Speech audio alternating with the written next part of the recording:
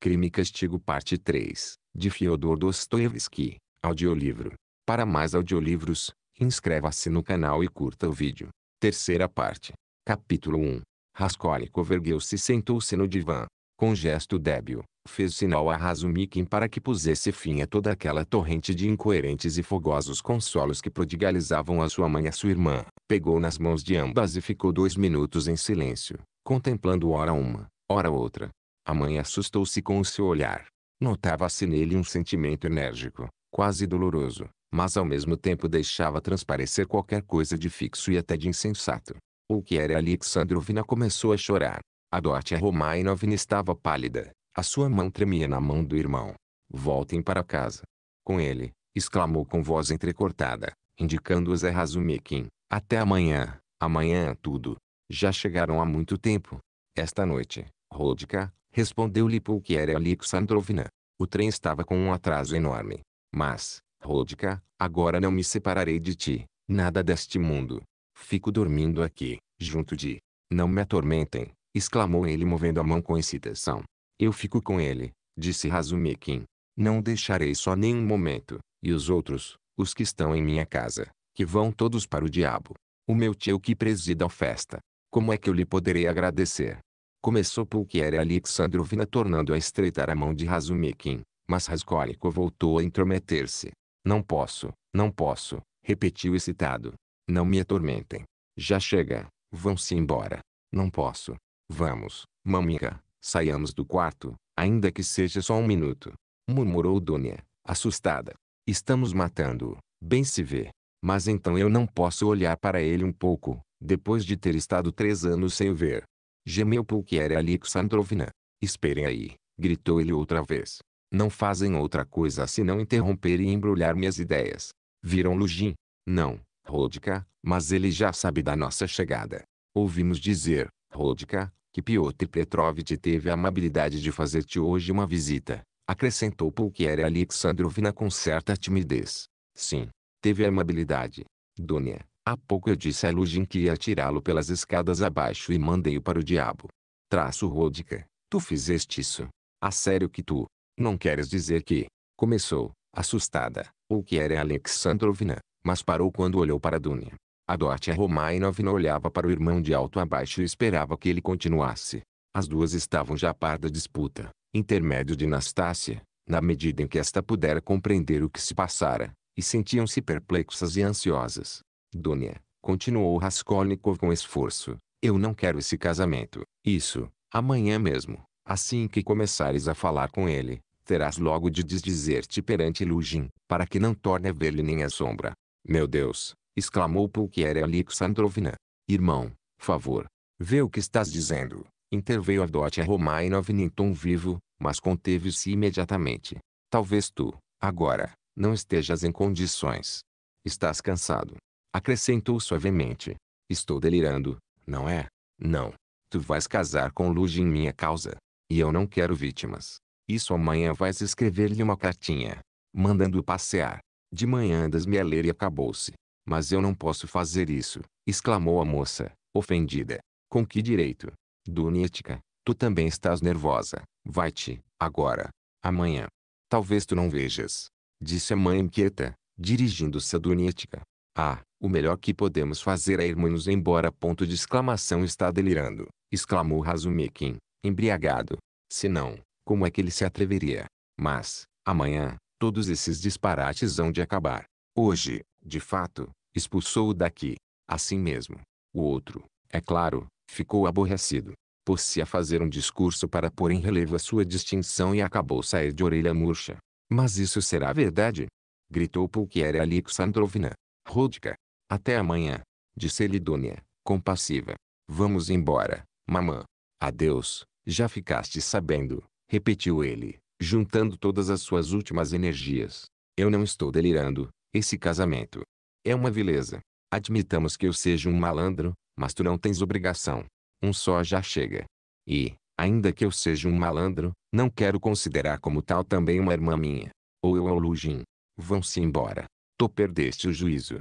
És um déspota, encolerizou-se Razumikin, mas Raskolnikov já não lhe respondeu, Pode ser que lhe tivessem faltado forças para isso. Estendeu-se no divã e voltou-se de para a parede, completamente extenuado. Adotia Romainovna olhou com curiosidade para Razumikin. Os seus olhos negros brilhavam. Razumikin estremeceu perante aquele olhar. O que era Alexandrovna estava fora de si. Não sairei daqui nada deste mundo, murmurou em voz baixa Razumikin, quase desesperada. Eu fico aqui, em qualquer lugar. Acompanhe Dunia. Olhe que vai deitar tudo a perder, disse ele também Razumikin em voz baixa, excitado. Saiamos daqui, ainda que seja só para o patamar. Nastácia, uma luz. Juro-lhes, continuou em voz baixa, já na escada, que há pouco quase nos batia, ao médico e a mim. Ora imagine, ao próprio médico. Este resolveu não irritá-lo e foi-se embora. E, entretanto, eu fiquei lá embaixo, de olho atento. Ele apressou-se a vestir-se e a sair para a rua. Agora, se fizer com que ele fique fora de si, também sairá para a rua e talvez até atente contra si próprio. Mas que diz o senhor ponto de exclamação e veja ainda que também não está nada bem que adote a Romainovna vá sozinha para a pensão, sem a senhora. Lembre-se do lugar onde estão hospedadas. Esse velhaco de Piotr Petrovitch podia ter arranjado um alojamento melhor para as senhoras. Se bem que, no fim de contas, eu estou um tanto ou quanto embriagado, e, e isso. É que há pouco insultei. As senhoras não façam caso. Bem, então falarei com a dona da casa daqui, insistiu Pulquier Alexandrovna. Pedir-lhe que nos arranje um cantinho esta noite, para mim e para Dunia.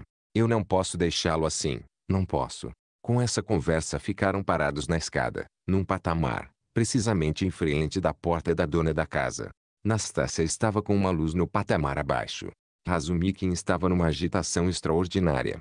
Meia hora antes, quando acompanhou Raskolnikov à casa, estava um pouco demasiado eloquente, o que ele próprio reconhecia mas muito animado e quase desanuviado, apesar da tremenda quantidade de aguardente que ingerira naquela tarde. Agora o seu estado de espírito era também semelhante ao do entusiasmo, mas, ao mesmo tempo, parecia que o álcool que bebera lhe subia de repente à cabeça com dupla energia. Estava parado, junto das duas mulheres, segurava as mãos de ambas e expunha-lhes as suas razões, com uma franqueza espantosa e como se quisesse convencê-las absolutamente de todas as suas palavras. Apertava-lhes as mãos com muita força, como no torno, até magoá-las, e parecia devorar a Dotia Romainovna com os olhos, sem o menor constrangimento. Causa da dor, elas retiravam de vez em quando as mãos da mão enorme e ossuda do rapaz, mas este não só não se apercebia disso, como puxava elas outra vez ainda com mais força. Se elas, nesse momento, lhe tivessem ordenado que, para servir, ele se atirasse de cabeça para baixo, pelo ia cumprido imediatamente, sem se deter a pensar nem hesitar. O que era Alexandrovna, aflita com pensamento no seu Rodica, apesar de notar claramente que aquele rapaz era muito excêntrico e lhe apertava a mão com demasiada liberdade, e que a sua intervenção era também um pouco abusiva, esforçava-se não reparar em todos esses extravagantes pormenores. E, apesar da sua própria aflição, a Dotia Romainovna, se bem que não fosse de caráter medroso, via com assombro e até com certo temor o fogo brilhante e selvático dos olhares do amigo de seu irmão, e só a limitada confiança que lhe tinham inspirado as referências de Nastácia acerca daquele homem impetuoso que a livrava da tentação de deitar a correr e de esconder-se atrás da mãe. Mas compreendia também que talvez já não pudesse fugir dele. Passados dez minutos acabou finalmente ficar completamente tranquila, Razumikin era de tal natureza que podia revelar-se completamente num momento, qualquer que fosse o estado de espírito em que se encontrasse. Isso todos compreendiam rapidamente com quem estavam lidando. Com a dona da casa é impossível, e além disso é uma tolice espantosa, exclamava, procurando convencer Pulquier Alexandrovna. Embora a senhora seja mãe, ele ficará furioso, e sabe Deus o que pode acontecer. Ora ouço o que eu vou fazer, agora vou dizer a Anastácia que vá até lá em cima ver como é que ele está, e levarei as duas a casa, porque as senhoras não podem andar sozinhas pelas ruas, quanto a isso. Petersburgo. Bem, não falemos nisso. Depois de deixá-las em casa, voltarei aqui, e dou-lhes a minha palavra de honra de que lhes venho trazer notícias acerca dele, se dorme ou não etc. etc. Depois, escutem, minhas senhoras, depois da casa das senhoras a minha é um pulo. Tenho lá convidados, todos já embriagados. Pegarei em isósimo. O médico que o tem tratado, que neste momento está em minha casa e não está embriagado. Esse não está bêbado, nunca está bêbado. Hei de trazê-lo aqui para ver Rodka, e depois irei com ele ver as senhoras. Isto é, dentro de uma hora terão notícias dele. Da própria boca do médico, compreendem? Do próprio médico, o que não é o mesmo que da minha. Se ele estiver pior juro-lhes que eu próprio os trarei aqui, e, se estiver melhor, as senhoras deitam-se e vão dormir. Eu ficarei de vigia aqui, toda noite, na escada, de maneira que ele não saberá de nada, e mandarei a Zósimo que passe a noite em casa da senhoria, para estar a postos para o que for preciso. Agora digam-me o que é preferível para ele, o médico ou as senhoras. O médico é-lhe mais útil, muitíssimo útil. E pronto, agora vão para sua casinha. Ficar com a senhoria é impossível, impossível para mim, impossível para as senhoras. Não insistam, porque ela é uma imbecil. Terá ciúmes de Adotia Romainovna, fiquem sabendo, e da senhora também. De Adotia Romainovna, isso nem tem dúvida. Tem um feito muito estranho. Embora, no fim de contas, eu também seja um idiota. Não falemos mais nisso. Vamos, então. Já estão convencidas? Estão ou não? Vamos, mamica, disse Adotia Romainovna, com certeza que cumprirá sua promessa. Já lhe devemos a ressurreição de meu irmão, e, se é verdade que o médico vai passar aqui à noite, que mais podemos desejar? Veja como a senhora. A senhora. A senhora me compreende, porque a senhora é um anjo, exclamou Razumikin entusiasmado. Vamos. Nastácia. Vai já lá se me fica a vigiá-lo. Sem luz, eu estarei de volta dentro de um quarto de hora. Embora não estivesse completamente convencida, o que era Alexandrovna deixou de fazer oposição. Razumikin pegou nas mãos de ambas e conduziu-as pelas escadas. No entanto ele ainda lhes inspirava desconfiança. Embora seja tão expedito e bondoso, estará em condições de cumprir o que promete. Porque ele está de uma maneira. Eu compreendo que as senhoras hão de pensar que, no estado em que me encontro, disse Razumikin, adivinhando-lhes o fio dos pensamentos e pisando o passeio com as suas enormes passadas de gigante, sem perceber que as duas mulheres mal podiam segui-lo. Tolice. Isto é. Eu estou demasiadamente bêbado, é verdade, mas não é de álcool. É que, quando eu sei as senhoras, o sangue subiu-me à cabeça e fiquei transtornado. Mas não façam caso de mim, minhas senhoras. Não reparem nisso, eu sou um trapalhão, não sou digno das senhoras. Nem de longe. Assim que as deixar vou direitinho ao canal, dou dois mergulhos na água e pronto. Se soubessem como eu já gosto das duas. Não se rimem nem se aborreçam, minhas senhoras. Aborreçam-se com toda a gente, menos comigo. Eu sou amigo dele e das senhoras também. Aquele desejo. O coração já me adivinhava. O ano passado houve um momento. Aliás não é uma certeza absoluta que o meu coração me tivesse adivinhado, porque as senhoras apareceram aqui como se tivessem caído do céu. Vou passar toda esta noite em claro. Há pouco, Zosimov estava com medo de que ele perdesse o juízo. Isso é preciso não irritar. Que disse o senhor? Exclamou a mãe. Mas foi o próprio médico quem disse isso. Perguntou a Dotia Romainovna, assustada. Não, ele não disse isso. O que disse foi o contrário. E também lhe deu um remédio, uns papelinhos que eu sei. E foi então que as senhoras chegaram. Ah, teria sido bem melhor que tivessem deixado isso para amanhã. Fizemos muito bem em nos virmos embora. Mas dentro de uma hora o próprio Zósimo vaza a par de tudo. Esse não está embriagado. E eu, então, já estarei desanuviado. Mas que me teria eu embriagado desta maneira? E que me teria eu metido em discussões com esses malvados? Jurara não tornar a discutir com eles. Mas dizem uns tais disparates. É impossível não discutir com eles. Deixei lá o meu tio, como presidente. Bem, talvez as senhoras não acreditem, mas eles exigem que o indivíduo não possua personalidade e acham que nisso é que está o mais importante da vida. Uma pessoa não ser ela própria, parecer-se o menos possível consigo mesma. É isso que eles consideram o cúmulo do progresso. E nem sequer procuram mentir com graça. Mas, ouça, interrompeu timidamente Pulquier Alexandrovna, sem conseguir outra coisa senão entusiasmá-lo ainda mais. Que pensam as senhoras? exclamou Razumikin, elevando a voz ainda mais. Julgam que eu me ponho assim porque eles mentem. Tolice. Eu gosto que eles mintam. A mentira é o único privilégio do homem sobre todos os outros animais. Vai mentindo. Que depois has de atingir a verdade. É precisamente ser homem que eu minto. Nenhuma só verdade poderia alcançar se antes não mentisse 14 vezes, e até 114 vezes, o que representa uma honra sui generis. Simplesmente, nós nem sequer sabemos mentir com inteligência. Tu me mentes, mas mentes-me de uma maneira especial, e eu ainda acima te dou um abraço. Mentir com graça, de uma maneira pessoal, é quase melhor que dizer a verdade à maneira de toda a gente. No primeiro caso é-se um homem e, no segundo, não se é mais do que um papagaio. A verdade não anda depressa, mas, a vida, podemos fazê-la correr. Há exemplos disso. Ora vejamos, que somos nós presentemente.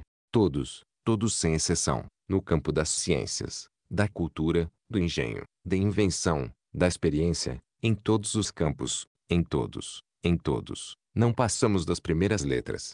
Gostamos de nos regalarmos com a inteligência alheia, da papinha já feita. Não é verdade? Não tenho razão? exclamou Razumikin, exaltando-se e apertando as mãos das duas mulheres. Não será verdade isso tudo? Oh, meu Deus, eu não sei, declarou a pobre Pulquiera Alexandrovna. Sim, é verdade. Se bem que eu não esteja completamente de acordo com o senhor, acrescentou seriamente Edotia Romainovna, e esteve quase para gritar. Tal era a força com que Razumikin lhe apertava a mão. Acha que sim? Disse que também acha que sim. Bem, então, uma vez que pensa assim. A senhora, exclamou entusiasmado, a senhora é um poço de bondade, de pureza, de inteligência. É uma perfeição. Dê-me a sua mão, dê-me. Dê-me a senhora também a sua, que quero beijar-lhes aqui mesmo, agora mesmo, de joelhos. E pôs-se de joelhos, no meio do passeio, que acaso estava deserto. Mas o senhor sabe o que está fazendo? exclamou Pulquiera Alexandrovna no auge do espanto. Levante-se, levante-se, disse Dônia, sorridente e assustada. Não farei nada deste mundo se, primeiro, não me derem as suas mãos. Bem, agora está bem, agora já me levanto e vamos andando. Eu sou uma pessoa muito infeliz, eu não sou digno das senhoras e, além disso, estou embriagado, do que me sinto muito envergonhado. Eu não sou digno de amá-las, mas inclino-me perante as senhoras.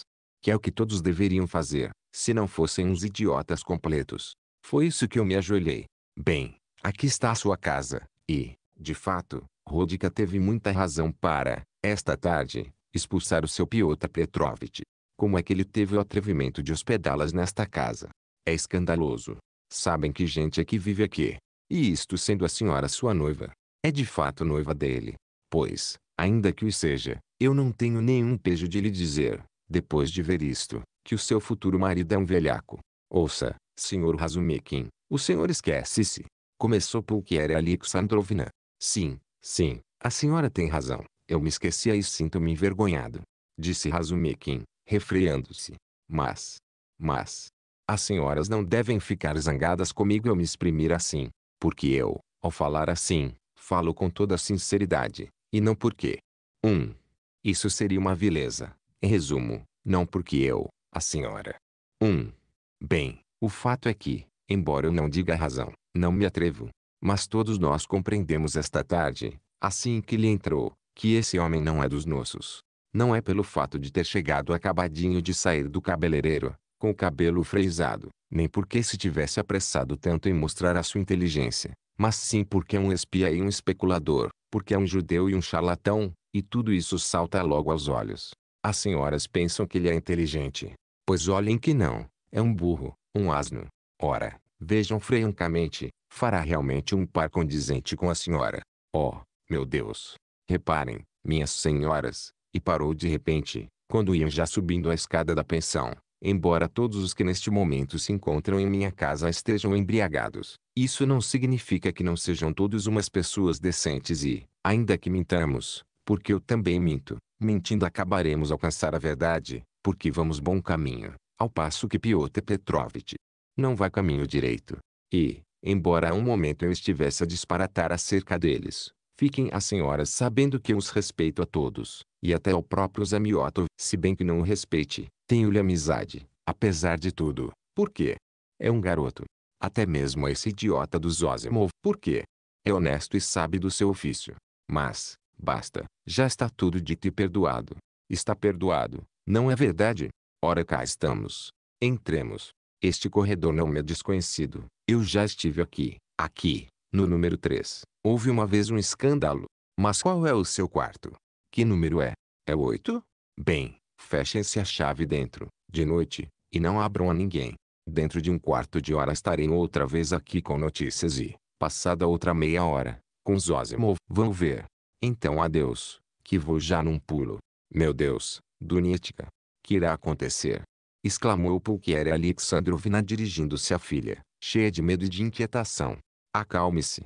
Maminha, respondeu Dunia, tirando o chapéu e a mantilha. Foi Deus quem nos enviou este rapaz, se bem que tenha bebido um pouco a mais. Podemos ter confiança nele, garanto-lhe. Sem falar em tudo o que ele já fez pelo meu irmão. Ah, Dunietka. Sabe Deus se ele voltará. Mas como é que eu fui capaz de me decidir a abandonar Rodka? Nem de longe imaginava vir encontrá-lo assim. Ficou tão sério. Até parecia que a nossa presença o contrariava. Assomaram lágrimas aos seus olhos. Não, isso não é bem assim, mãezinha. A senhora não reparou bem, porque não fazia mais nada senão chorar. É que ele está muito transtornado devido à doença tão grave. É isso. Ah, essa doença. Que irá acontecer? Que irá acontecer? E a maneira como ele te falou, a ti, Dunia, disse a mãe, olhando timidamente para os olhos da filha, a fim de neles ler todo o seu pensamento, e já meio contente ver que Dunia até se punha na defesa de Rodika, e com certeza que lhe perdoava. Estou convencida de que amanhã já deve ter reconsiderado, acrescentou, esforçando-se chegar até o fim. Também estou convencida de que amanhã até nos falará. Daquilo, interrompeu a Dotia Romainovna, e sem dúvida isso foi um remate à conversa, pois tinham tocado num ponto do copo que era Alexandrovna não se atrevia a falar naquele momento. Dunia aproximou-se da mãe e abraçou-a. Ela abraçou também com força em silêncio. Depois sentou-se e ficou à espera, num desassossego, do regresso de Razumikin, e com seus olhos tímidos seguia os movimentos da filha, que, de braços cruzados e também ansiosa, se tinha posto a dar voltas para trás e para diante pelo quarto, pensativa. Esse andar, de uma ponta a outra, meditando, era um costume vulgar de Adotia Romainovna, e a mãe tinha sempre medo de interromper as suas meditações nesses momentos. É claro que Razumikin era ridículo com aquela paixão súbita que, no meio da bebedeira, lhe nascera Adotia Romainovna, mas muitas pessoas o teriam desculpado se tivessem visto Adotia Romainovna, sobretudo neste momento em que dava voltas pela sala, de braços cruzados, triste e pensativa, sem se deterem a considerar a extravagância da situação. A Dotia Romainovna era muito bonita, alta, maravilhosamente bem feita, forte, aprumada, o que se via em todos os seus gestos, e o que, aliás, não era de maneira nenhuma um obstáculo a que tivesse também movimentos ágeis e graciosos. No rosto parecia-se com o irmão, mas podia até dizer-se que era uma autêntica beleza. Tinha os cabelos castanhos, um pouco mais claros que os do irmão, os olhos quase negros, cintilantes, altivos e, ao mesmo tempo, às vezes, de uma doçura invulgar. Era pálida, mas não de palidez doentia, o seu rosto resplandecia fresco e são. Tinha a boca um tanto pequena, o lábio inferior, fresco e vermelho, era levemente saliente, bem como o queixo. O que era a única irregularidade naquele belíssimo rosto, mas que entretanto lhe infundia uma nota especial, e, entre outras coisas, uma certa altivez. A expressão do seu rosto era sempre verdadeiramente mais séria do que alegre, preocupada, mas o sorriso ficava bem a esse rosto, como lhe assentava bem o riso jovial, juvenil, despreocupado. Isso era compreensível que o impetuoso Razumikin, franco, simples, honesto e forte como um homem antigo, que nunca na sua vida vira nada semelhante, perdesse o juízo assim que a viu. Além disso, o acaso, como de propósito, Mostrou-lhe Dunia nesse belíssimo instante de amor e alegria perante a presença de seu irmão.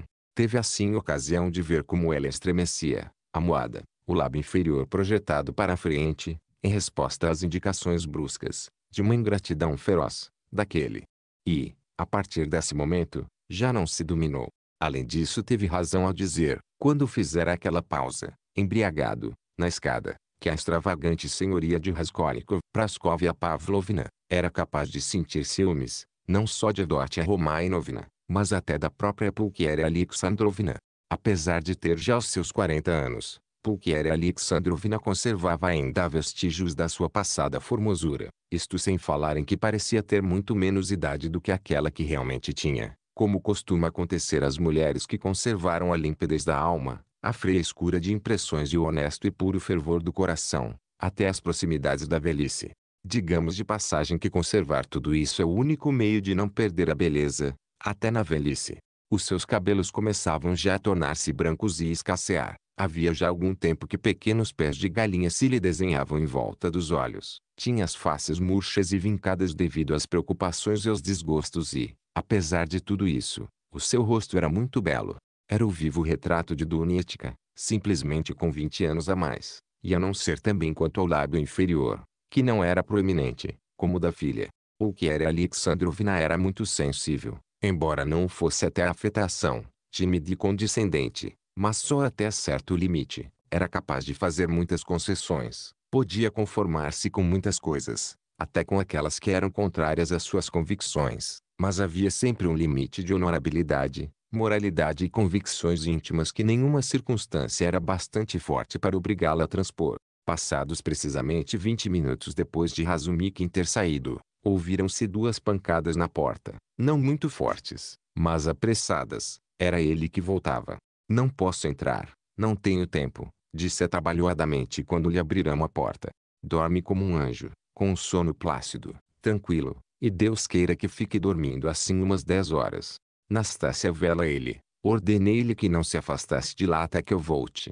Agora vou buscar Zózimo. Ele as vai a par de tudo, e depois vão as senhoras dormir. Estão cansadas, eu bem vejo. E, retirando-se, afastou-se pelo corredor. Que expedito e que leal, exclamou muito contente Pulquiera Alexandrovna. Parece ser uma excelente pessoa, respondeu a Dotia Romainovna com certo entusiasmo, e voltou novamente aos seus passeios pelo quarto, de um lado para o outro. Passado pouco tempo ouviram-se passos no corredor e outras pancadinhas na porta. Desta vez, as duas mulheres tinham esperado, completamente tranquilas, o regresso de Razumikin, e, de fato, ele conseguira trazer-lhe Zózimo. Este consentira, imediatamente, em deixar o festim e em vir ver como estava Raskolnikov. Mas visitar as senhoras foi de má vontade e com grande receio, desconfiado do bêbado Razumikin. Mas ficou imediatamente tranquilo e até lisonjeado no seu amor próprio, percebeu que esperavam ele como um oráculo. Permaneceu ali dez minutos precisos e conseguiu convencer e tranquilizar completamente Pulquiera Alexandrovna. Falou-lhes com a maior simpatia, mas energicamente até com certa seriedade afetada, como um médico de 27 anos chamado para um caso grave, e sem se afastar nenhum momento do assunto, nem mostrar o menor desejo de entrar em relações mais pessoais e frequentes com as duas senhoras. Como, assim que entrou, reparou imediatamente como a Dotia Romainovna era extraordinariamente graciosa, esforçou-se logo, desde o primeiro momento, não reparar nela durante todo o tempo que durou a visita, dirigindo-se exclusivamente a Pulquiera Alexandrovna, o que acabou lhe proporcionar uma extraordinária satisfação interior. Referindo-se especialmente ao doente, disse que acabava de encontrá-lo num estado muito satisfatório. A julgar pelas suas observações, aquela doença, além das péssimas condições em que ele vivera durante os últimos meses, obedecia também a certas causas morais, e, assim dizer, era produto de muitas e complexas influências morais e materiais, desassossego, inquietações, preocupações, certas ideias etc. etc.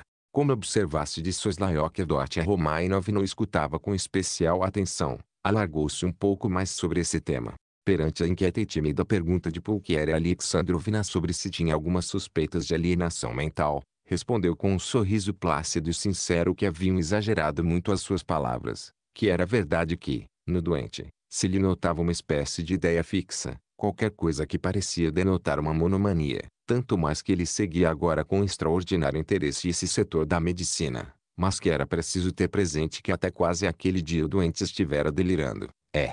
E não havia dúvida de que a chegada das pessoas de família havia de fortalecê-lo, animá-lo e produzir nele um efeito de completo restabelecimento, desde que lhe sejam evitadas novas comoções, acrescentou de maneira significativa. Depois levantou-se, fez uma reverência, ao mesmo tempo séria e jovial, acompanhado pelas bênçãos, pela veemente gratidão, pelas súplicas e até pela mãozinha de Edotia Romainovna, que lhe estendia espontaneamente, e retirou-se muitíssimo satisfeito com a sua visita e, sobretudo, consigo próprio.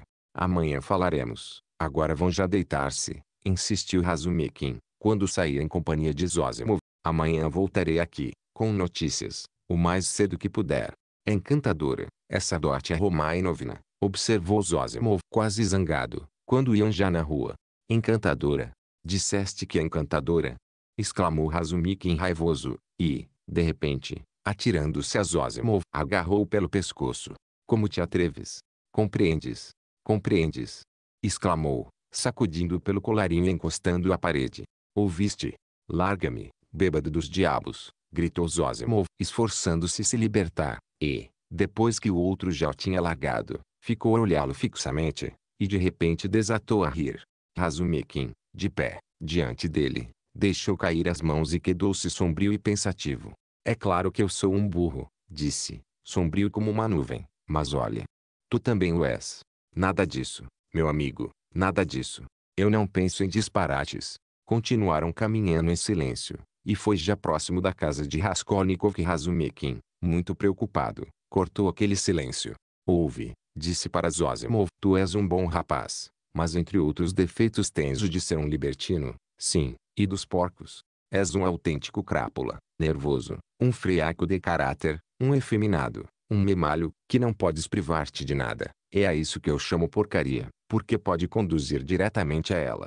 És um tão molengão que, confesso, não chego a compreender como é que, com tudo isso, ainda consegues ser um bom médico e até dedicado. Dormes em cama de penas, tu, um médico, e levantaste da cama de noite para ir ver um doente. Dentro de três anos já não te levantarás. Mas, enfim, que diabo. Não se trata agora disso, mas disto. Tu, esta noite, vais ficar dormindo no quarto da senhoria. Lá convenci, com muito custo, e eu fico na cozinha. Estabeleceram assim intimidade rapidamente. Não é o que tu pensas. Olha, meu amigo, nem sombras. Mas eu não imagino nada.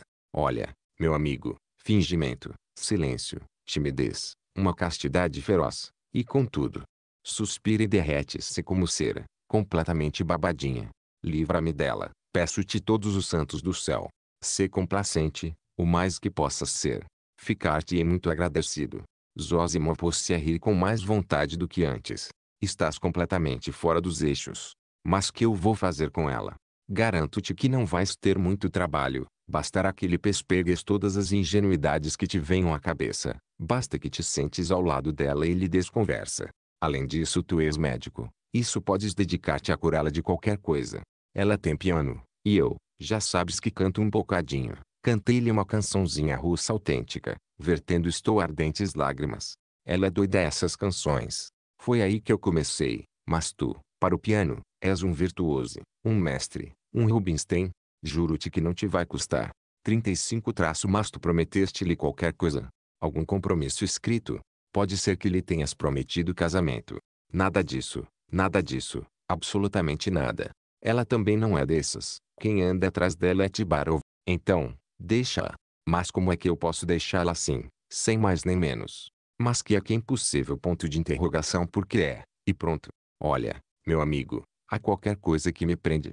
Seduziste-a talvez, não? Qual o que? Pode até muito bem acontecer que o seduzido fosse eu, devido à minha inépcia, mas, para ela, tanto lhe faz que sejas tu como eu, pois o que ela quer, com certeza, é ter alguém ao lado de quem possa suspirar. Olha, meu amigo, não posso explicar-te bem. Olha. Bem, tu sabes muito de matemática e ainda continuas a interessar-te ela. Bem sei, pois dedica-te a ensinar-lhe cálculo integral. Juro-te Deus que não digo isso brincadeira, que falo a sério. Para ela tanto faz, se há olhar para ti a suspirar, e assim durante um ano. Eu, entre outras coisas, falei com ela durante muito tempo e, durante dois dias consecutivos, do parlamento prussiano, pois de que havia o de lhe falar. E ela, durante todo esse tempo, não fazia outra coisa senão suspirar e derreter-se. Ah, mas não lhe fales de amor. A hipocrisia dela leva até fingir de arisca. O que deves é dar-lhe a entender que não pode sair de perto dela. É o suficiente. É terrivelmente comodista aí, em casa dela. Uma pessoa está como na sua própria. Lê, senta-te, deita-te, escreve, até podes beijá-la com cuidado. Mas que tenho eu a ver com ela? Ah, nunca poderei explicar-te. Olha, é que tu e ela são muito parecidos. Eu já me lembrara de ti. É que é preciso acabar com isto. E tanto me faz que seja mais tarde ou mais cedo. Aqui, meu amigo, terás uma espécie de colchão de penas. Sim, e não só de penas. Ah, aqui, uma pessoa é mimada. Aqui é o fim do mundo, a âncora de salvação, o porto de abrigo, o umbigo da terra, a base do mundo formada a três peixes. São tortas de creme e empadas de peixe, é o samovar da tarde, os suspirozinhos plácidos e os cobertores quentes, as botijas para a cama, enfim, é como se tivesses morrido, mas, ao mesmo tempo, continuasses vivo e gozasses das vantagens de ambos os estados, ao mesmo tempo. Mas, está bem, meu amigo, eu pareço um aldrabão de feira aí, com os diabos. Já são horas de dormir. Ouve, eu costumo acordar de noite, isso irei ver como é que ele está. Não há nada, é um disparate, vai tudo bem.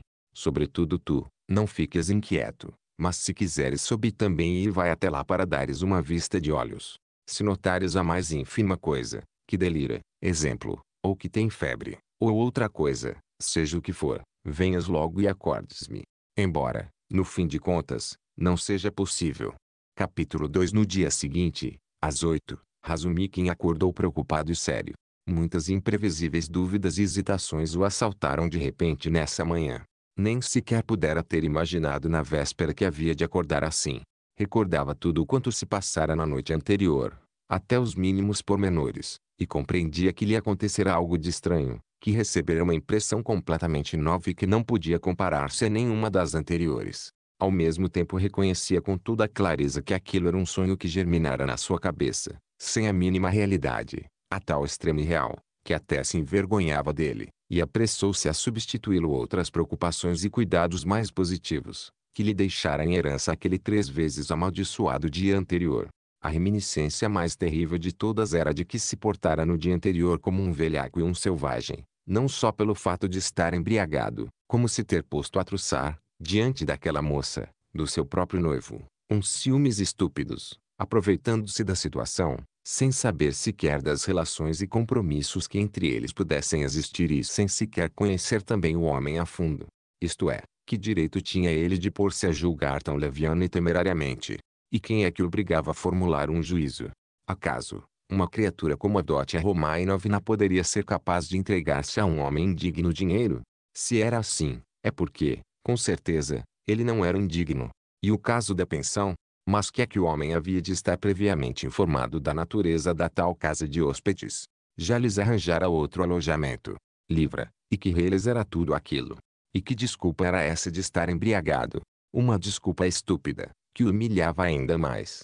No vinho está a verdade e, de fato, a verdade completa sair à luz, isto é, aflorar à superfície é toda a maldade do seu coração, grosseiramente invejoso.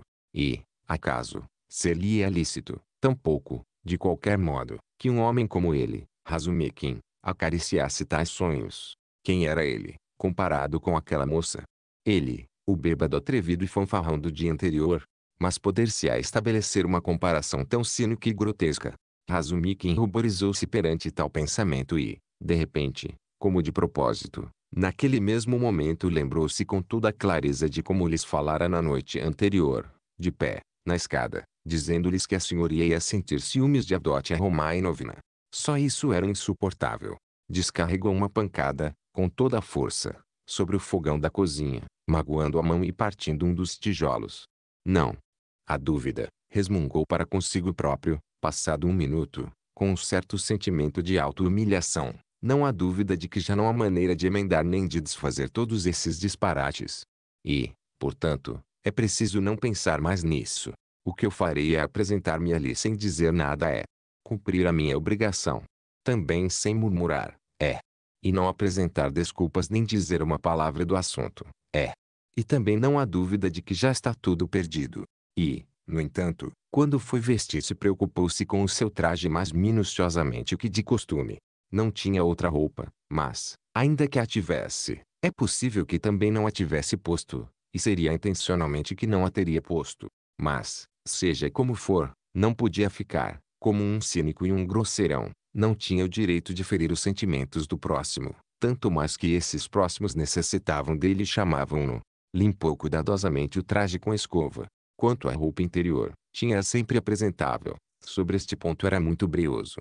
Lavou-se nessa manhã com todo o esmero. Encontrara sabão no quarto de Nastácia. Lavou a cabeça, o pescoço e, sobretudo, as mãos. Quando a si próprio fez a pergunta se havia ou não de barbear-se, Praskovia Pavlovna possuía navalhas magníficas, que conservava ainda de seu falecido marido, Zarnitsin, Resolveu com certa crueldade, em sentido negativo, ficaria como estava. Não vai acontecer pensar em que eu me barbei para que, com certeza, o imaginariam. Pois, nada deste mundo. É. O mais importante, era tão grosseiro, tão grosseiro, tinha uma maneira de conduzir-se tão ordinária. E suponhamos que ele sabe que também, embora em ponto pequeno, é um homem decente. Bom, haverá motivo para uma pessoa se orgulhar de ser um homem decente. Toda a gente tem obrigação de o ser, e até mais qualquer coisa, mas, apesar de tudo, lembra-se, pesam-lhe sobre a consciência alguns pecadilhos. Não que sejam desonrosos, mas, no entanto, e que intenções não tivera, às vezes. 1. Um, e por tudo isso em comparação com a Dotia Romainovna. Mas bom, que diabo. Seja. Continuarei a ser de propósito grosseiro, sujo e ordinário e cuspir. Ainda hei de fazer pior. Foi no meio desses monólogos que Zosimovo foi encontrar, o qual passara a noite na sala de Praskovia Pavlovna. Regressava a casa e, ao sair, de passagem, vinha deitar uma vista de olhos ao doente. Razumikin informou de que ele passara a noite dormindo como um anjo. Zosimov deu indicações para que não o incomodassem até que ele acordasse-se. Prometeu tornar a passar ali às onze. Supondo que o encontre em casa, acrescentou. Ufa, que diabo! Se não se tem domínio sobre um doente, como é que se há de curá-lo? Não sabes se ele irá visitá-las ou se serão elas que virão vê-lo? Elas, respondeu Razumikin, compreendendo a intenção da pergunta. Creio que virão, sem dúvida, para tratar de assuntos de família. Eu me retirarei. Tu, como médico, naturalmente, tens mais direito do que eu. Eu também não sou nenhum diretor espiritual. Irei e sairei logo a seguir. Já tenho bastante que fazer. Sem contar com isso. Só há uma coisa que me inquieta, acrescentou Razumikin, franzindo o sombrolho. Ontem, eu, bêbado como estava, pus-me a falar-lhes pelos cotovelos, durante o caminho, e disse uma ação de asneiras. Uma chusma delas. Entre outras coisas, disse-lhes que tu receavas que estivesse com propensão a enlouquecer. Traço também falaste disso ontem, às senhoras. Foi uma estupidez, reconheço-o. Se quiseres, bate-me. Mas dize-me, tu tinhas pensado verdadeiramente nessa possibilidade com alguma existência? Isso é um absurdo, afirmo-te. Uma ideia fixa. Foste tu que me descreveste como um monomaníaco, quando me trouxeste para o ver? Mas nós, ontem, quer dizer, tu, com essas suposições. A respeito do pintor, deste-lhe volta ao juízo. Lindo assunto para conversa. Até é possível que fosse isso que o tivesse transtornado. Se eu tivesse sabido ao certo o que aconteceu no comissariado, e que aí, algum malandro, com essas suspeitas, o ofendera. 1. Um, não teria consentido que lhe falassem disso ontem, pois deve saber que esses monomaníacos tomam um mosquito e um elefante e veem em devaneios as coisas mais fantásticas. Se bem me lembro, ontem concluí claramente metade desse assunto, do relato de Zamiotov. Não tenho dúvidas. Conheço o caso de um neurótico, quarentão, que não era capaz de aguentar diariamente a troça que um rapazinho de oito anos fazia dele, à mesa, e que, isso, assassinou. E repara, tão mal vestido, obrigado a suportar as insolências num polícia, uma doença em princípio, e uma suspeita dessas. Avalia, portanto, um hipocondríaco em último grau e com essa vaidade furiosa, esse amor próprio. É aqui que pode estar a explicação da doença. Sim, que diabo. No fundo, esse Zamiotov é um bom rapaz. Simplesmente. 1. Um, simplesmente fez mal, ontem, em falar disso. É um terrível tagarela. Mas a quem é que lhe falou? A mim e a ti. E a Porfírio também. E que importância tem que o tenha contado também a Porfírio? Dize-me sinceramente, tens alguma influência sobre essas mulheres, a mãe e a irmã? É que é preciso que sejam muito discretas, hoje, com ele. Seluão, respondeu Razumik involuntariamente. E que é que ele tratou esse tal Lugin daquela maneira? Um homem com dinheiro e que, segundo parece, não lhe desagrada, a ela, e ademais não tendo nada, não é verdade? Ponto de interrogação Eu sei lá disso, exclamou Razumikin, irritado. Eu sei lá se elas têm muito ou pouco. Pergunta a quem quiseres, pode ser que te informem. Livra, que te tornas às vezes muito estúpido. Ainda não te passou a bebedeira de ontem. Adeus. Agradece a Praskovia Pavlovna, da minha parte, pela sua hospitalidade. Tinha a porta do quarto fechada, e quando eu lhe disse bonjour, do lado de fora, não me respondeu, mas a sete levantou-se e levaram-me o samovar da cozinha, passando pelo corredor. Não tive a honra de vê-la.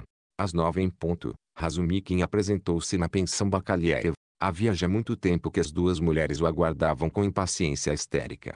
Estavam fora da cama desde as sete, se aqui não desde mais cedo ainda.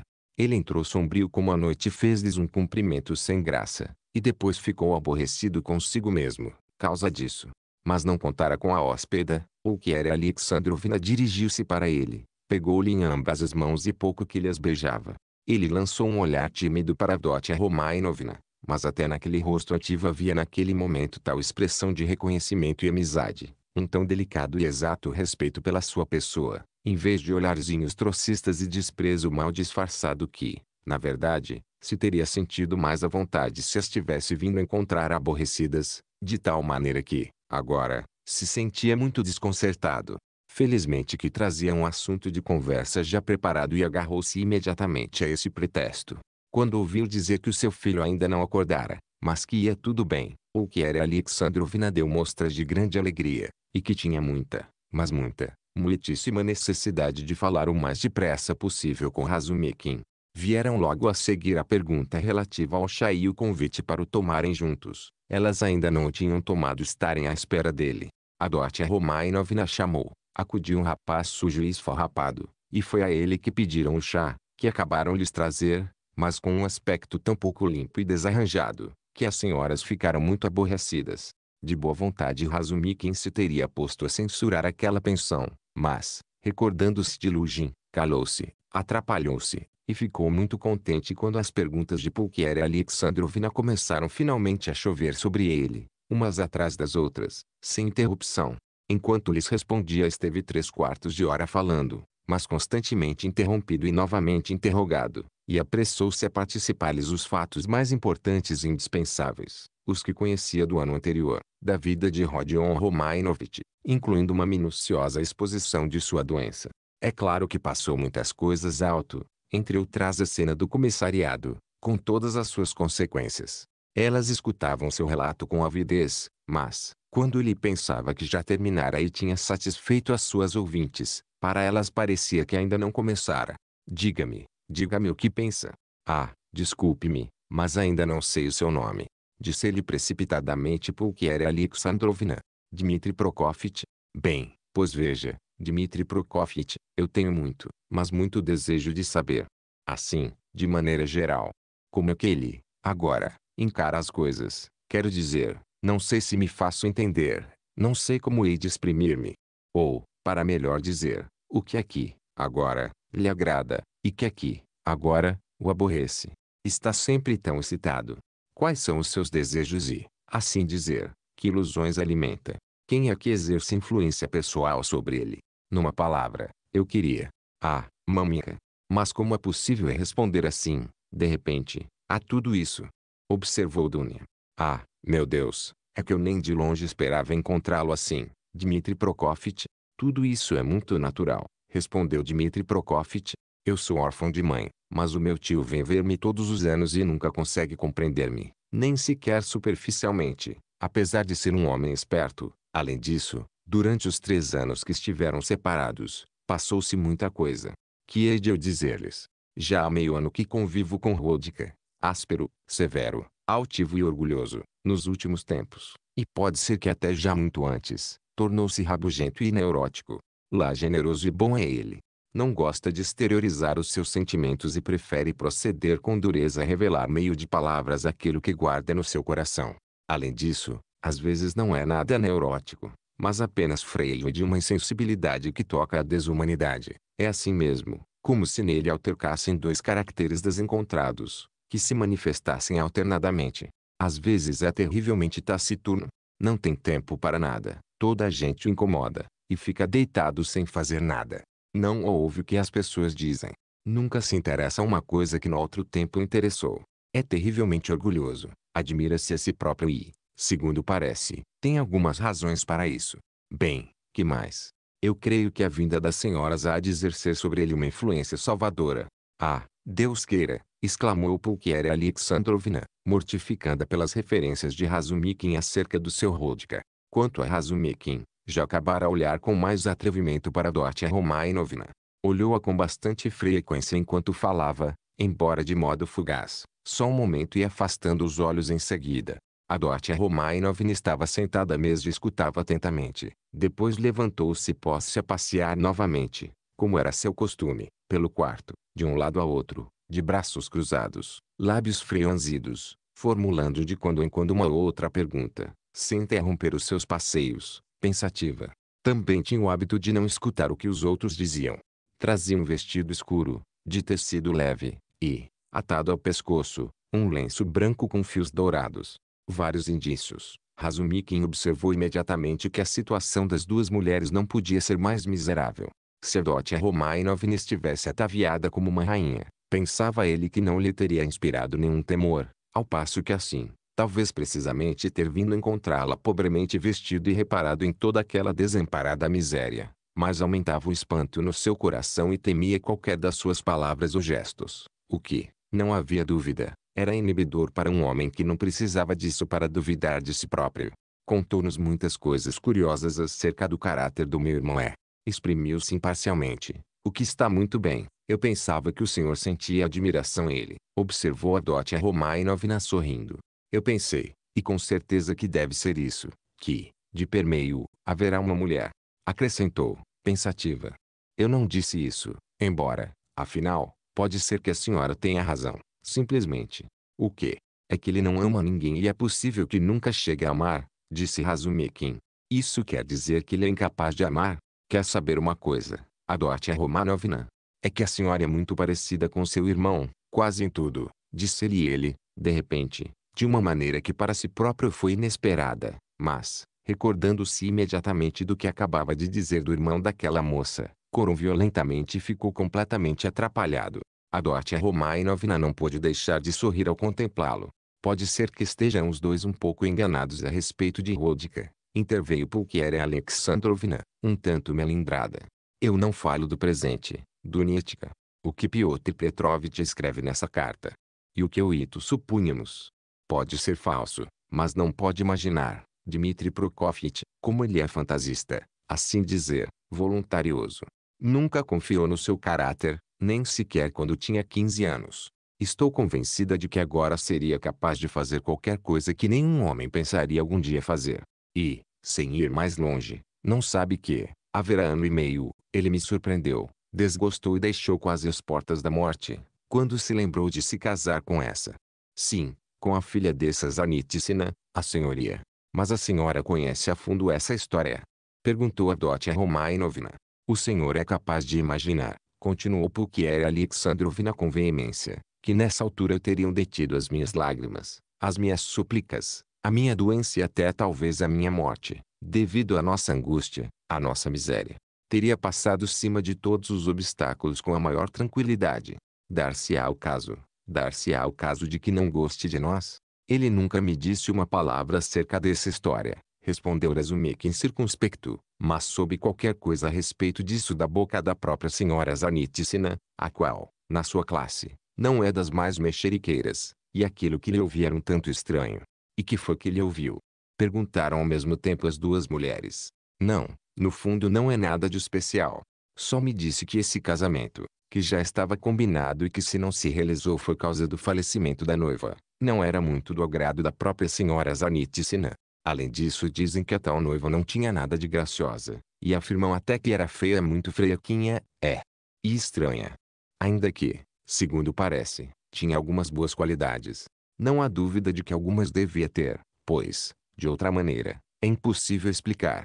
Dort também não tinha, de maneira que ele não podia ter criado ilusões sobre esse ponto. Em geral é difícil formar uma opinião sobre estes assuntos. Tenho certeza de que devia ser uma moça digna, Observou laconicamente Edotia Romainovna.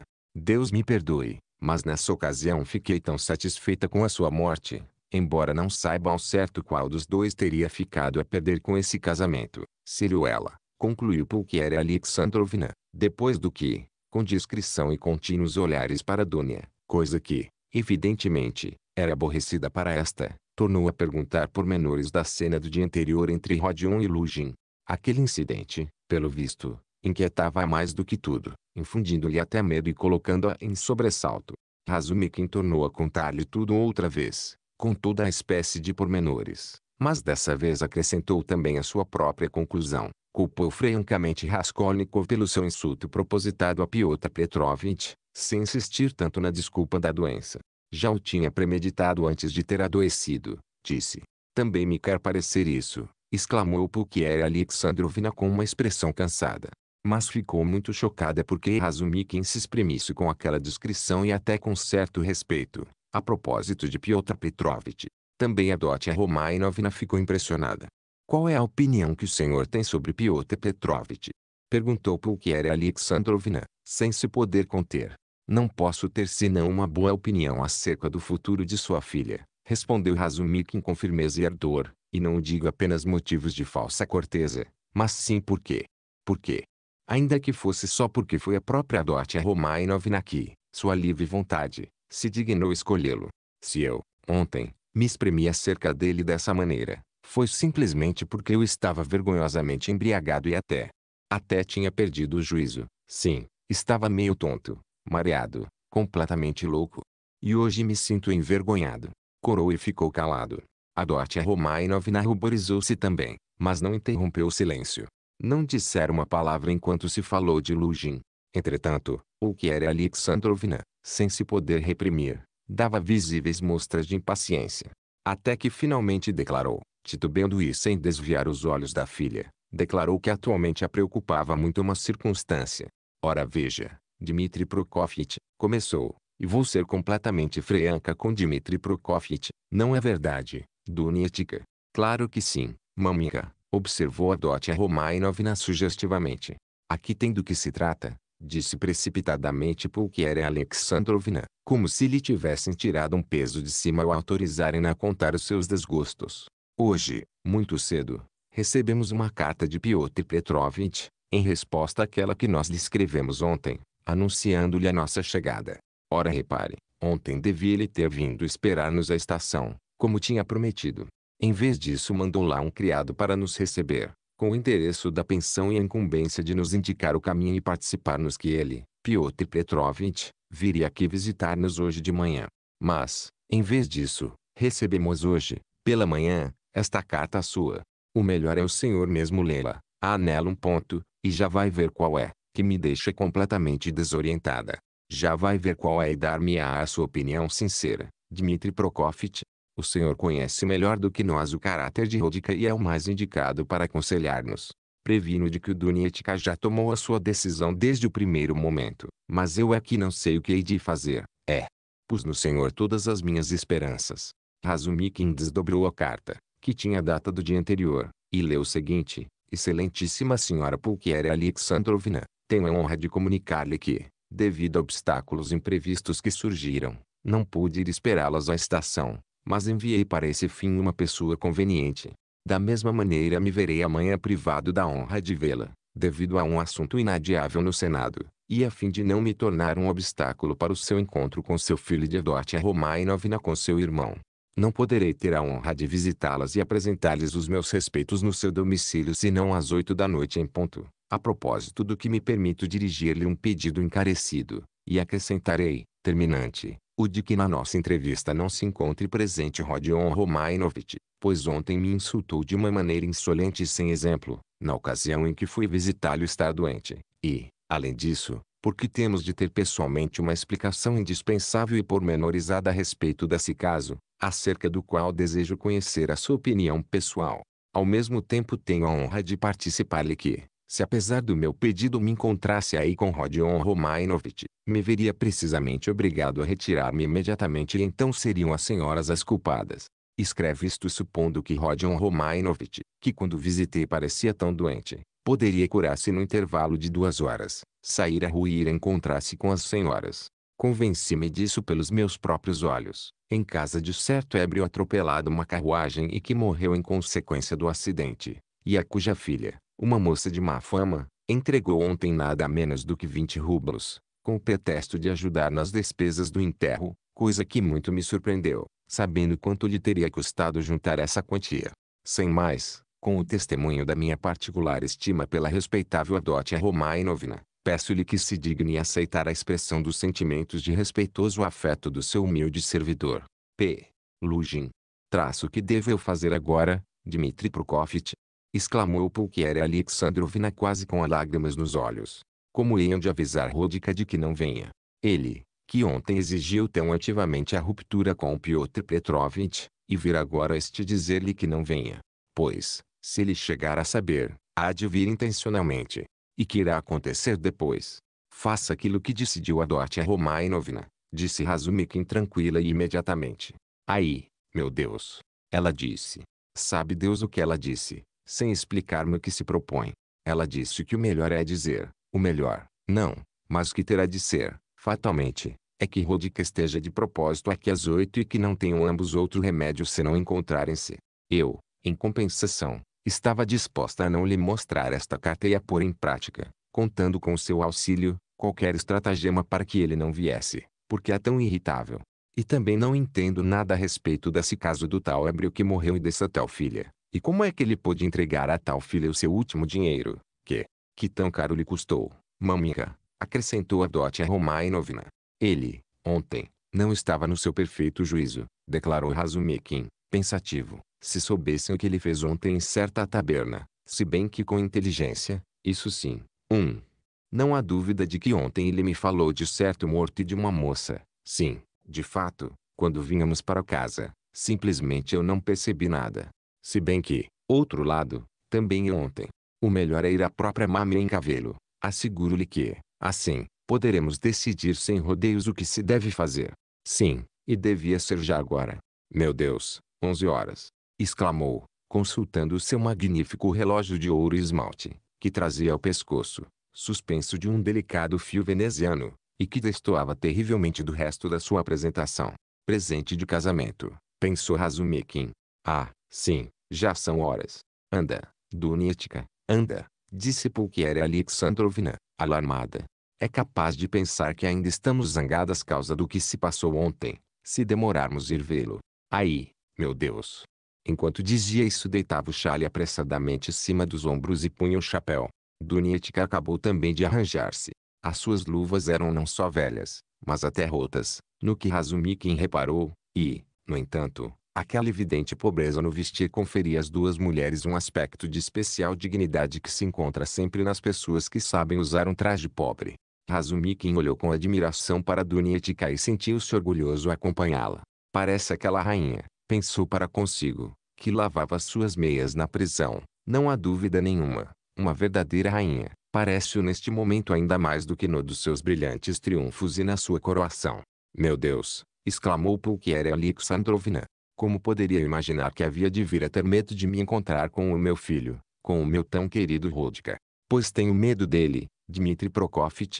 Não tenha medo, maminha, disse Dunia, beijando-a. O melhor é ter confiança nele. Eu tenho. Aí, meu Deus. Eu também tenho e não pude dormir durante toda a noite exclamou a pobre mulher. Saíram. Olha, Dunietka, sabes uma coisa? Esta manhã, quando estava meio adormecida, apareceu-me em sonhos a falecida Marfa Petrovna. Toda de branco. Aproximou-se de mim, pegou-me numa mão, inclinou a cabeça para mim, e estava como tão séria, tão séria, como se me censurasse. Será um bom agora? Aí, meu Deus! Dmitri Prokofiev, o senhor ainda não sabe, Marfa Petrovna morreu. Não, não sabia. Quem era Marfa Petrovna? Morreu de repente. E imagine. Depois, maminha, interveio Dunia. Lembra-te de que ele ainda não sabe de que Marfa se trata. Ah, não sabe? E eu pensando que o senhor já estava a par de tudo. Desculpe-me, Dmitri Prokofit. Desculpe-me, desde há uns dias que não ando bem da cabeça. Eu considero verdadeiramente como a nossa providência. Isso estou convencida de que estará a par de tudo. Considero-o da família. Não leve a mal que eu fale assim. Aí, meu Deus, que é isso que tem na mão direita? Magoou-se. Sim. Resmungou Razumikin, muito satisfeito. Eu, às vezes, me deixo levar demasiado pelos meus impulsos, tanto, que Dunia me corrige. Mas, meu Deus, em que buraco ele vive? Já estará acordado? Essa mulher, a senhoria, considera isto um quarto. Escute, o senhor disse que ele não gosta de mostrar os seus sentimentos. Isso talvez eu vá aborrecê-lo com os meus fraquezas. Não quererá ensinar-me, Dmitri Prokofit, como devo conduzir-me com ele. Eu, o senhor sabe, estou desorientada. Não lhe faça muitas perguntas se vir que lhe franze o sombrolho. Sobretudo não lhe fale muito acerca da saúde. Isso contraria-o. Ah, Dmitri Prokofiev, quanto custa ser mãe? Mas aqui está a escada. Que escada tão horrorosa. A senhora até está pálida. Acalme-se, minha querida mãe, disse Dunia, acariciando-a. Ele deve considerar uma felicidade vê-la, e a senhora martirizar-se dessa maneira, acrescentou, de olhos faiscantes. Esperem, que eu, primeiro, vou ver se ele já acordou ou não. As duas mulheres começaram a andar devagar atrás de Razumikin, que subia já as escadas, e, quando chegaram ao quarto andar e passaram diante da porta da senhoria, observaram que ela estava aberta de maneira que deixava uma fresta pela qual espreitavam dois olhos negros e penetrantes, na escuridão. Quando os olhos se encontraram, a porta tornou-se a fechar, de repente, com tal estrépito que Pulquier Alexandrovna esteve quase a lançar um grito de medo. Capítulo 3 Curado! Curado! exclamou Zosimov alegremente, saindo a receber os que chegavam. Havia dez minutos que tinha chegado e sentara-se no mesmo canto da véspera, no divã. Raskolnikov estava sentado no extremo oposto, completamente vestido e até cuidadosamente lavado e penteado, coisa que havia tempo não lhe acontecia. O quarto ficou cheio, mas, fosse lá como fosse, Nastassia ainda lá coube, atrás dos visitantes, para ficar escutando. De fato, Raskolnikov estava quase completamente restabelecido, principalmente comparando seu estado com o da noite anterior, embora estivesse muito pálido, meditabundo e severo. Pelo seu aspecto exterior parecia um homem ferido ou que sofresse de alguma forte dor física. Tinha o sobrolho franzido, os lábios apertados e os olhos alucinados. Falava pouco e de má vontade, como se o fizesse à força ou para cumprir uma obrigação, e de quando em quando manifestava uma certa inquietação nos gestos. Só lhe faltava um lenço do braço ao pescoço ou uma ligadura num dedo para que fosse completa a sua semelhança com um indivíduo que, exemplo, tivesse um panarice ou se tivesse ferido numa mão, ou qualquer outra coisa do gênero. Aliás, aquele rosto pálido e sombrio iluminou-se num instante como efeito de uma luz, quando a mãe e a irmã entraram. Mas isso não serviu senão para acrescentar à sua expressão, em vez da sua antiga severidade ensimesmada, algo de dor concentrada. Esse vislumbre não tardou a desaparecer, mas a dor persistiu. E Zosimov, que observava e atendia ao seu doente com todo o ardor juvenil de um médico que está no princípio da carreira, verificou nele, com espanto consequente, a vista da família, em vez de alegria, qualquer coisa como a resolução dolorosa e secreta de suportar um mal bocado. Qualquer contrariedade que não podia disfarçar. Mas pôde notar depois como quase cada palavra do diálogo seguinte parecia irritar e acirrar alguma ferida do doente. Embora, ao mesmo tempo, se admirasse de vê-lo naquele dia animado do poder de dominar-se a si próprio e ocultar os seus sentimentos de monomaníaco, prontos a estalarem, a menor palavra, num acesso de fúria. Sim, eu próprio vejo agora que já estou quase completamente bem, disse Raskolnikov beijando afetuosamente a mãe e a irmã, o que pôs imediatamente era diante de alvoroço Pulquiera Alexandrovna, e não digo como ontem, acrescentou, dirigindo-se a Razumikin e estendendo-lhe amistosamente a mão. Hoje até fiquei admirado vir encontrá-lo assim, começou Zosimov, muito contente ver chegar os que entravam, porque em dez minutos já tivera tempo de perder o fio da conversa com o seu doente. Daqui a três, ou quatro dias, se isto continuar assim, estará outra vez como antes, isto é, como há um mês ou dois, ou até como há três. Porque ele andava incubando isto já há muito tempo. Confesso agora que até é possível que tenha sido o senhor mesmo quem teve a culpa, acrescentou com um sorriso discreto, como se ainda temesse irritá-lo. Pode muito bem ser assim, acrescentou freiamente Raskolnikov. Digo isso, continuou Zosimov em tom confidencial, porque o seu completo restabelecimento depende agora unicamente do Senhor. Agora que já se pode falar com o Senhor, desejava dizer-lhe que é preciso investigar as causas primordiais, radicais, assim dizer, que influíram na efetivação do seu estado mórbido, e será então que se há de curar completamente, pois, de contrário, talvez ainda seja pior. Essas causas primordiais, ignoro-as, mas não tem outro remédio senão conhecê-las. O Senhor é um homem inteligente que sem dúvida alguma se observa a si próprio. A mim parece-me que o começo da sua doença coincidiu, em parte, com a sua saída da universidade. Para o Senhor é impossível estar sem fazer nada, e, além disso, tenho a convicção de que o trabalho e a perseguição de um fim concreto haviam de ser-lhe muito benéficos. Sim, sim, o Senhor tem toda a razão. Vou ver se entro o mais cedo possível na universidade, e então tudo caminhará sozinho. Como sobre rodas. Zosimov, que precipitara os seus sensatos conselhos, em parte para impressionar as senhoras, ficou um tanto desconcertado quando, ao terminar a sua arenga e passear o olhar sobre o seu interlocutor, lhe notou no rosto um acentuado sarcasmo. Aliás, isso durou apenas um momento. O que era Alexandrovna pôs imediatamente a exprimir a Zosimov sua especial gratidão pela sua visita da noite anterior à hospedaria. Mas como é que o senhor foi visitá-las de noite? Perguntou Raskolnikov tanto inquieto. Então não descansaram da viagem. Ah, Rodka, isso foi às duas. Nós, em casa, tanto eu como Dunietka, nunca nos deitamos antes das duas. Eu também não sei como agradecer-lhe, continuou dizendo Raskolnikov, que franziu de repente as sobrancelhas e baixou a cabeça. Tirando a questão de dinheiro, desculpe que eu me refira a isso, dirigindo-se a Zosimov, ignoro o que terei feito para merecer da sua parte uma atenção destas. Não compreendo. Simplesmente. E, e isso? Até se me torna aborrecido não compreender, digo-lhe com toda a franqueza. Não se cite, sorriu Zosimov forçadamente. Lembre-se de que é o meu primeiro cliente. E quando um de nós começa a praticar a sua profissão, cria amizade ao seu primeiro doente, como se fosse seu filho, e alguns ficam quase apaixonados. E eu, já sabe, não tenho grande clientela. E nem quero falar desse, acrescentou Raskolnikov, apontando Razumikin, que só tem recebido de mim insultos e aborrecimentos. Não mintas. Estarás hoje sentimental? Gritou Razumikin. Se fosse mais perspicaz, poderia ter visto que tal sentimento estava muito longe de Raskolnikov e o que existia era completamente diferente. A Dortia Romainovna que o percebeu. Atenta e alarmada, não perdi o irmão de vista. Da senhora também não me atrevo a falar, maminha, continuou, como se tivesse aprendido nessa manhã uma lição. Só hoje pude imaginar pouco mais ou menos o que deve ter sofrido aqui ontem, esperando o meu regresso. Depois de ter proferido essas palavras, de repente, em silêncio e sorrindo, Estendeu a mão à irmã, mas dessa vez deixou transparecer nesse sorriso um sentimento real, autêntico. Dunia pegou na mão que se lhe estendia e estreitou-a com entusiasmo, alvoroçada e reconhecida. Era a primeira vez que ele se dirigia a ela depois do desgosto do dia anterior.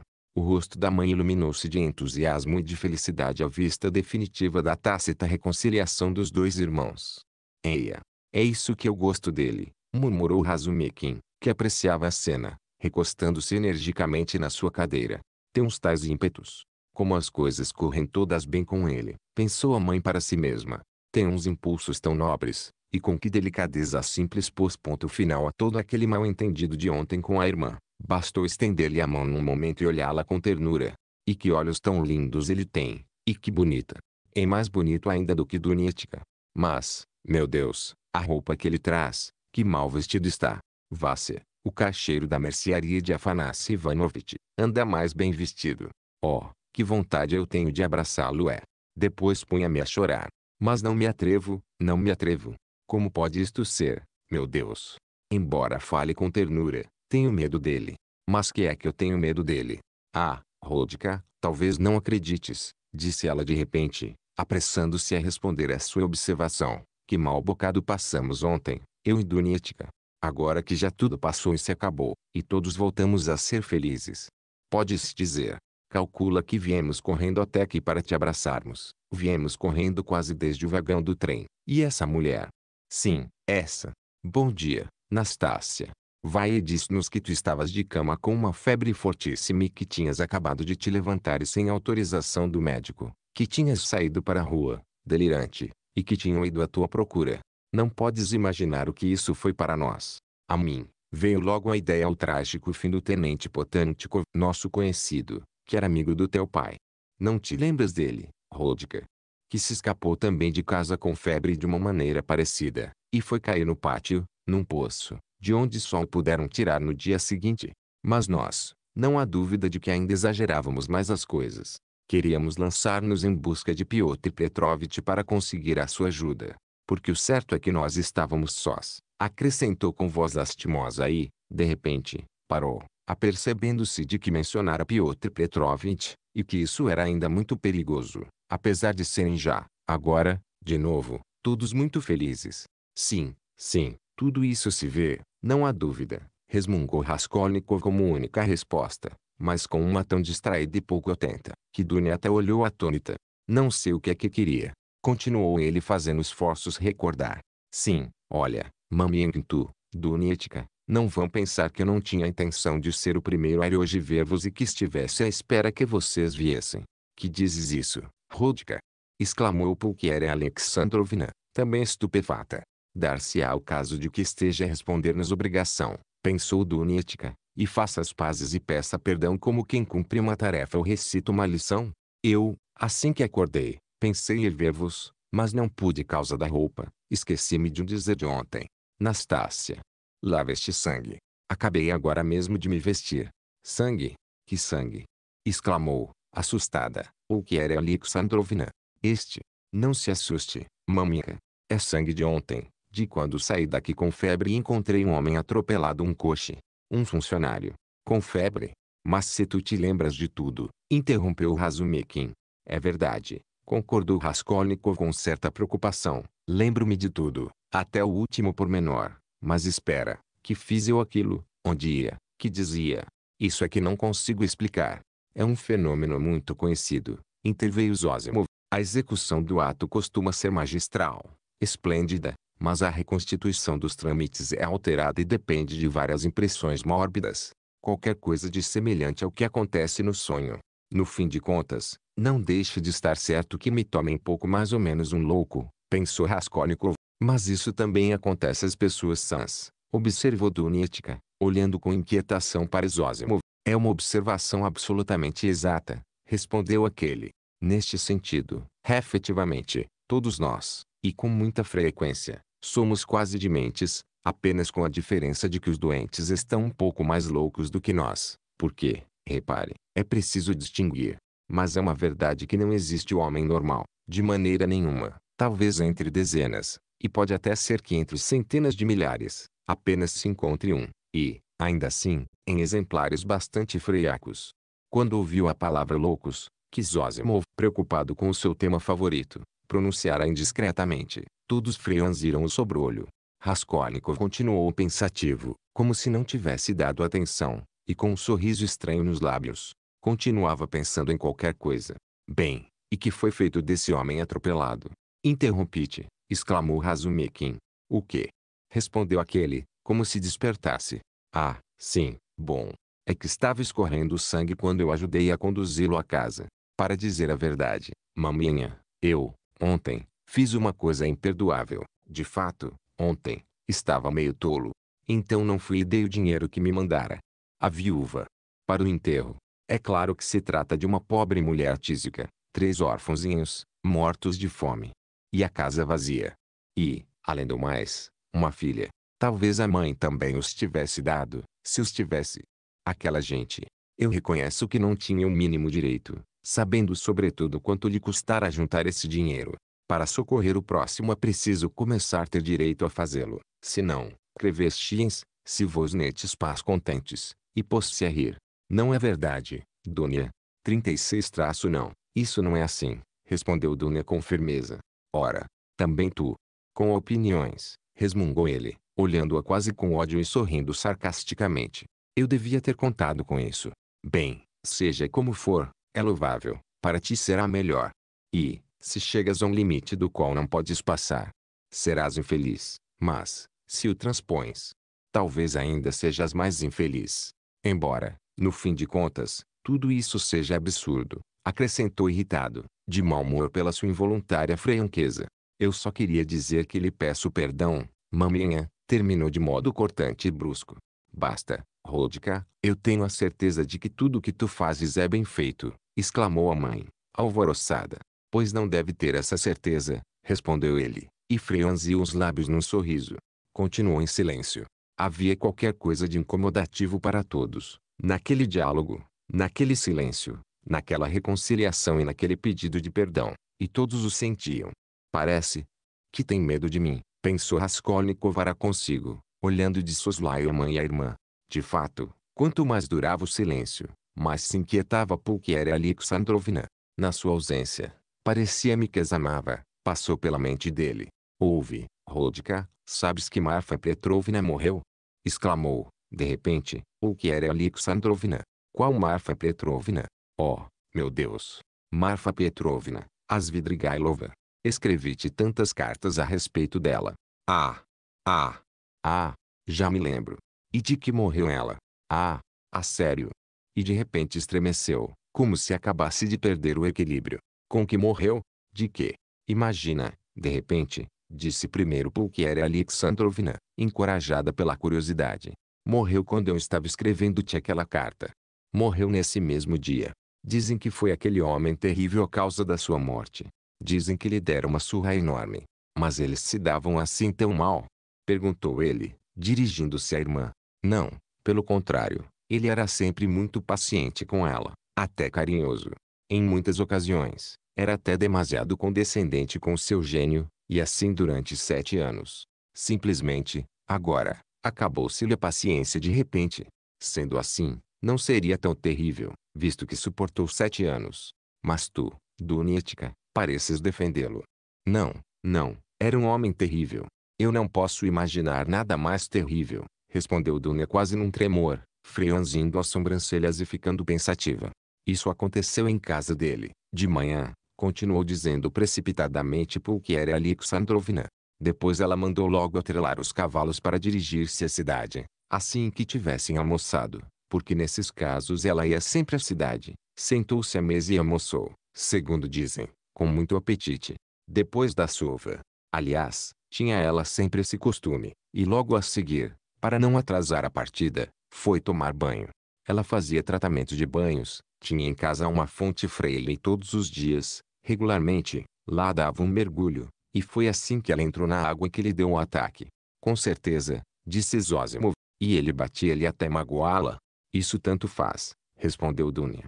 1. Um, a mãe tem uma predileção especial certos assuntos, declarou Raskolnikov de repente, mal-humorado e quase aflito. Aí, meu querido, é que eu já não sabia de que havia de falar, interrompeu Pulquiera Alexandrovna. Mas mamãe tem medo de mim, todos têm medo de mim, exclamou ele com um sorriso forçado. E nisso tem razão, disse Dunia, olhando franca e severamente para o irmão. A maminha, quando subia as escadas, vinha já benzer-se de medo. O rosto dele transtornou-se como se tivesse tido uma convulsão. Ah, mas que disseste tu, Dunia? Não fiques zangado, Rodka, favor. Que disseste isso, Dunia? Gritou, fora de si, o que era Alexandrovna. Eu, na verdade, quando vinha para aqui, no vagão do trem, não fazia outra coisa senão pensar no momento em que nos viríamos e poderíamos falar das nossas coisas. Sentia-me tão feliz que nem vi o caminho. Era assim que eu vinha. E agora também me sinto feliz. Tu não, Dunia. Eu sou feliz só te ver, Rudka.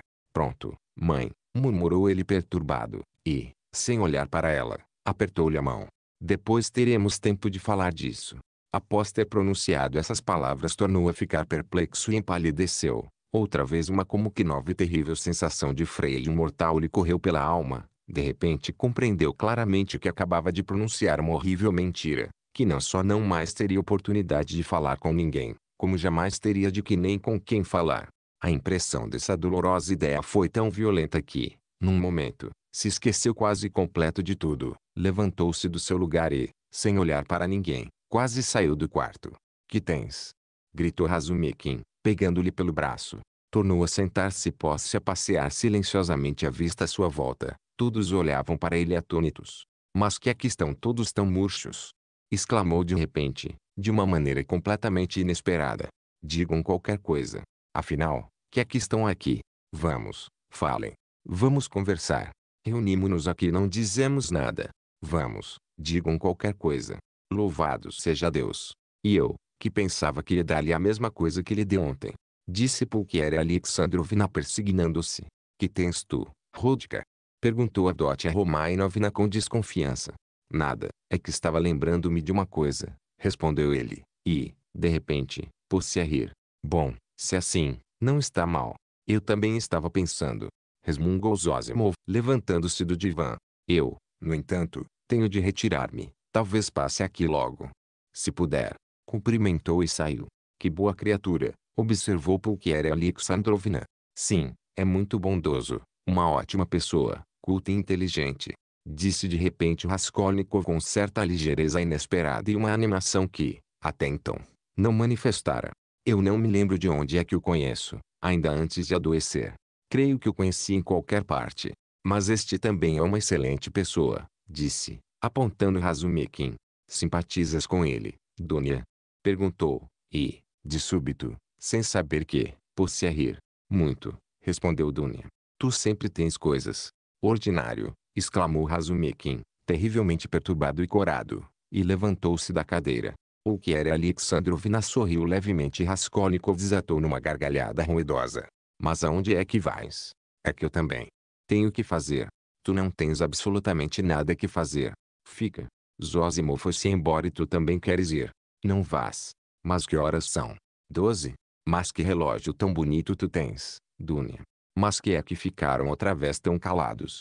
Sou só eu que faço a despesa da conversa. É um presente de Marfa Petrovna respondeu Dunia. E de muito valor, acrescentou Pulquier Alexandrovna.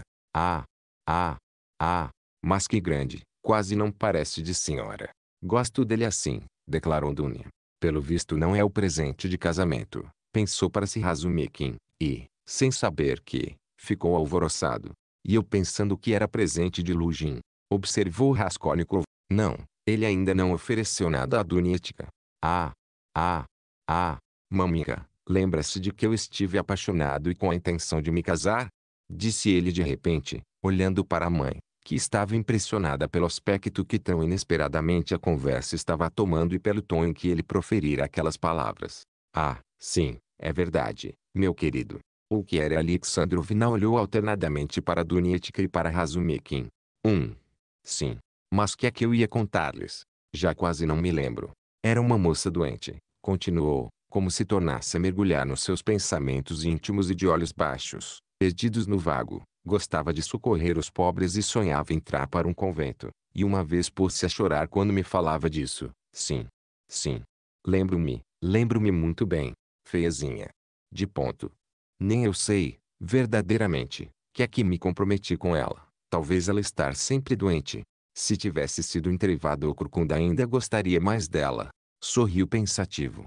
Isso foi uma febre de primavera. Não, não foi uma febre de primavera, disse Dunia comovida. Ele olhou para a irmã, atento e perturbado, mas, ou não ouviu ou não compreendeu as suas palavras. Depois, com um ar meditabundo, levantou-se, aproximou-se da mãe, abraçou-a, voltou para o seu lugar e tornou a sentar-se. Ainda gostas dela? exclamou, comovida. O que era Alexandrovna? Dela. Agora.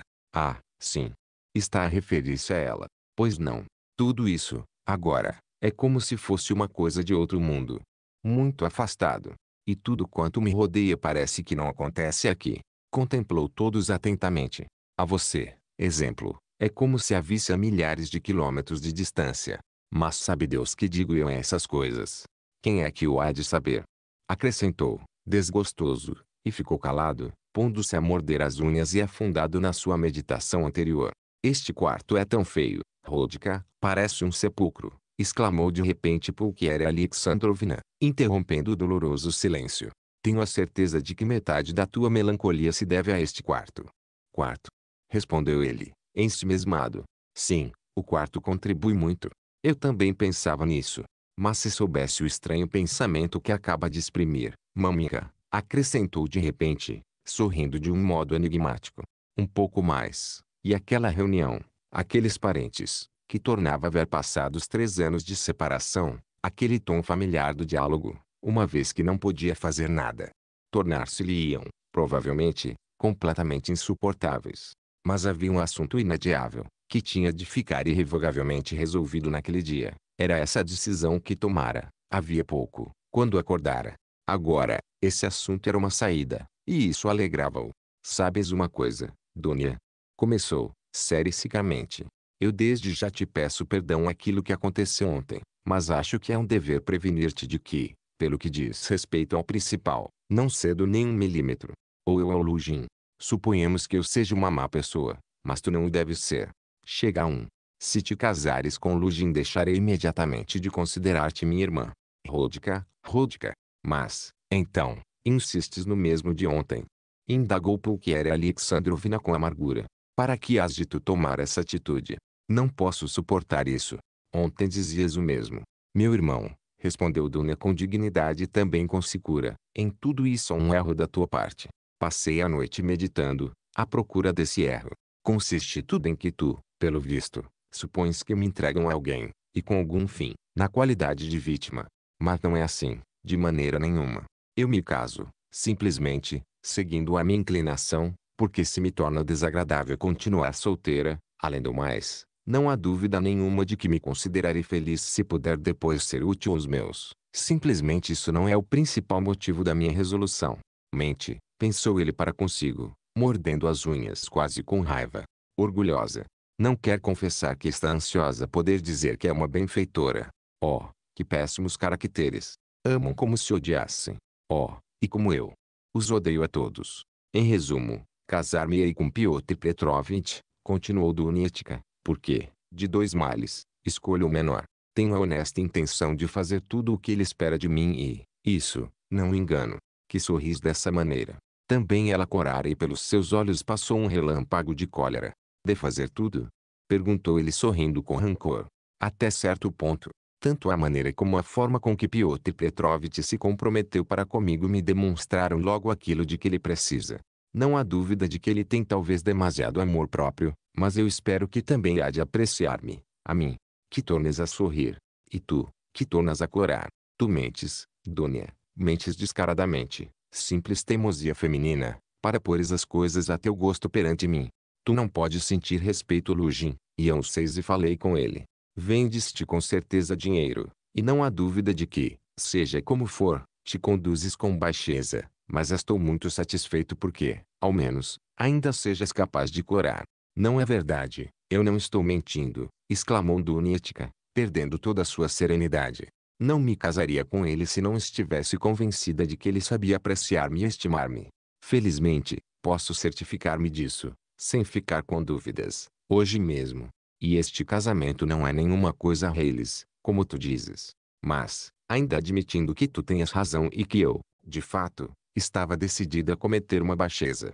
De toda maneira, não seria uma crueldade que tu me falasses como me falas? Que me exijas assim esse heroísmo, que tu talvez não tenhas. Isso chama-se despotismo, coação. Se eu causo a ruína de alguém, é unicamente a minha. Mas eu não matei ninguém. Que me olhas dessa maneira, Rodka? Que tens? Que te puseste tão pálido? Rodka, que sentiste? Rodka, meu filho. Meu Deus. Quase desmaia, exclamou Pulquiera Alexandrovna. Não, não, foi uma tontura. Não é nada. Uma breve vertigem. Não chegou a ser um desmaio. Vocês têm a mania dos desmaios. Um. Sim. Que é que eu ia dizendo? Ah, já sei. De que maneira pensas certificar-te hoje de que podes ter respeito ali de que ele te aprecia ou não, conforme disseste? Creio que disseste que seria ainda hoje. Se é que eu ouvi bem ponto de exclamação mamica. Mostre a carta de Piotr Petrovitch ao meu irmão, disse Dunietka. O que era Alexandrovna entregou-lhe a carta com mãos trêmulas. Ele a recebeu com grande curiosidade. Mas, antes de abri-la, olhou de súbito para Dunietka com certa admiração. É estranho, exclamou, ato contínuo, como se de repente uma ideia nova tivesse acabado de assaltá-lo. Que me acalorou assim tanto. Para que toda esta gritaria? Vai e casa-te com quem quiseres. Disse isso como que apenas para si, mas em voz alta, e, durante um momento, Ficou olhando para a irmã com um ar preocupado. Finalmente abriu a carta, conservando ainda a expressão de um certo espanto estranho. Depois procedeu à leitura, devagar e atentamente, e repetiu-a duas vezes. O que era Alexandrovna estava numa grande inquietação, embora todos os outros esperassem também alguma coisa de especial. O que para mim é assombroso, começou ele, depois de uns momentos de reflexão e devolvendo a carta à mãe, mas sem olhar para ninguém em especial é que ele seja advogado, homem de negócios, e se exprima na conversação de uma maneira que é até amaneirada. E, apesar disso, escreva tão mal. Houve um movimento geral, não esperavam de maneira nenhuma aquela saída. Toda essa gente escreve assim, observou bruscamente Razumikin. Mas tu leste a carta. Nós demos-lhe a ler, Rodka. Pedimos-lhe conselho. Começou Pulquiera Alexandrovna, muito confusa. É um estilo processual, atalhou Razumikin. É assim que redigem todas as folhas processuais. Processuais? Sim, é isso, processual, de advogado. Nem demasiado vulgar nem demasiado literato. Advocatício. Piotr Petrovitch não esconde que recebeu uma educação de meia tigela, e até se gaba de se ter feito si próprio, observou a Dotia Romainovna, um pouco ressentida pelo novo tom do irmão. Pois se se gaba, lá deve ter as suas razões para isso, não digo o contrário. Tu, Dunia, pelo visto ficaste ofendida eu ter tomado esta carta como pretexto para uma observação sem importância, e pensas que me pus a falar intencionalmente desses pormenores para te aborrecer. Mas não é nada disso. A mim aconteceu-me, a propósito de estilo, uma observação que não é supérflua no caso presente. Há aí uma frase, não culpem mais ninguém, senão a si próprias, que não pode ser mais taxativa e clara, sem contar com a ameaça de se ir imediatamente se eu me intrometer. Essa ameaça de retirar-se equivale à ameaça de vos abandonar se não for desobedientes, e de abandonar-vos, agora, que vos fez vir a Petersburgo. Bem, vamos ver o que tu dizes. Pode uma pessoa dar-se ofendida perante essa frase de Lugin, como se fosse aquele que a tivesse escrito, e apontou Razumikin, ou Zosimov, ou qualquer outro de nós. Não. Não, respondeu Dunietzke exaltando-se. Eu compreendo muito bem que se trata de uma expressão perfeitamente ingênua e pode ser que tudo se reduza a que ele não sabe escrever. Nisso pensaste bem, irmão. Eu nem sequer esperava. Isso está escrito em estilo advocatício, e em estilo advocatício não era possível escrevê-lo de outra maneira, embora talvez lhe tenha saído mais tosco do que ele desejava. Além disso, eu tenho a obrigação de abrir-te um pouco os olhos. Nesta carta há também uma calúnia contra mim, e bastante reles. Eu dei ontem aquele dinheiro a uma viúva, tuberculose esgotada de trabalhar, e não com o pretexto de ajudar ao enterro, mas muito claramente para o enterro e não causa da filha. Uma moça, como ele escreve, de má fama, e a qual eu nunca na minha vida vira até ontem, dei sobretudo a uma viúva. Vejo perfeitamente em tudo isso o confuso desejo de ofender-me e de provocar a discórdia entre nós. Expressão essa também processual, quer dizer, dirigida para um fim evidente e com o cuidado dos mais ingênuos, é um homem com alguma inteligência, mas para proceder com inteligência, é preciso mais qualquer coisa. Tudo isso nos diz quem é esse homem. E parece-me que não deve gostar muito de ti.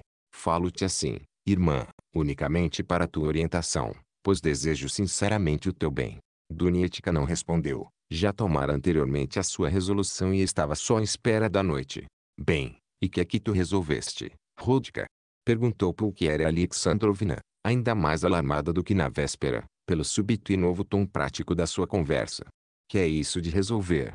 É que, repara, Piotr Petrovitch diz-nos que tu não deverás estar conosco esta noite, e que, em caso contrário, ele se retirará. Isso. Tu pensavas vir? Quanto a isso, não há dúvida alguma de que não compete a mim resolvê-lo, mas, em primeiro lugar, a você, se é que essa exigência de Piotr Petrovitch não ofende, e depois a Dunia, se também não ofende a ela. Quanto a mim, farei o que lhes parecer melhor, acrescentou secamente. Dunietka já tomou a sua resolução e eu estou completamente de acordo com ela, apressou-se a afirmar Pukiera Alexandrovna. Eu resolvera pedir-te, Rodka, isso mesmo, pedir-te que estivesses presente a essa entrevista, sem falta, disse Dunia. Vens? Vou. E peço também ao senhor que venha ver-nos às oito, acrescentou, dirigindo-se a Razumikin. Mamika, eu também quero convidá-lo. Fazes muito bem, Dunietka. Se é isso que decidiram, acrescentou Pulquier Alexandrovna, é isso que há de ser. Isso, para mim, também é um alívio. Não gosto de fingimentos nem de mentiras. O melhor de tudo é falar com absoluta franqueza.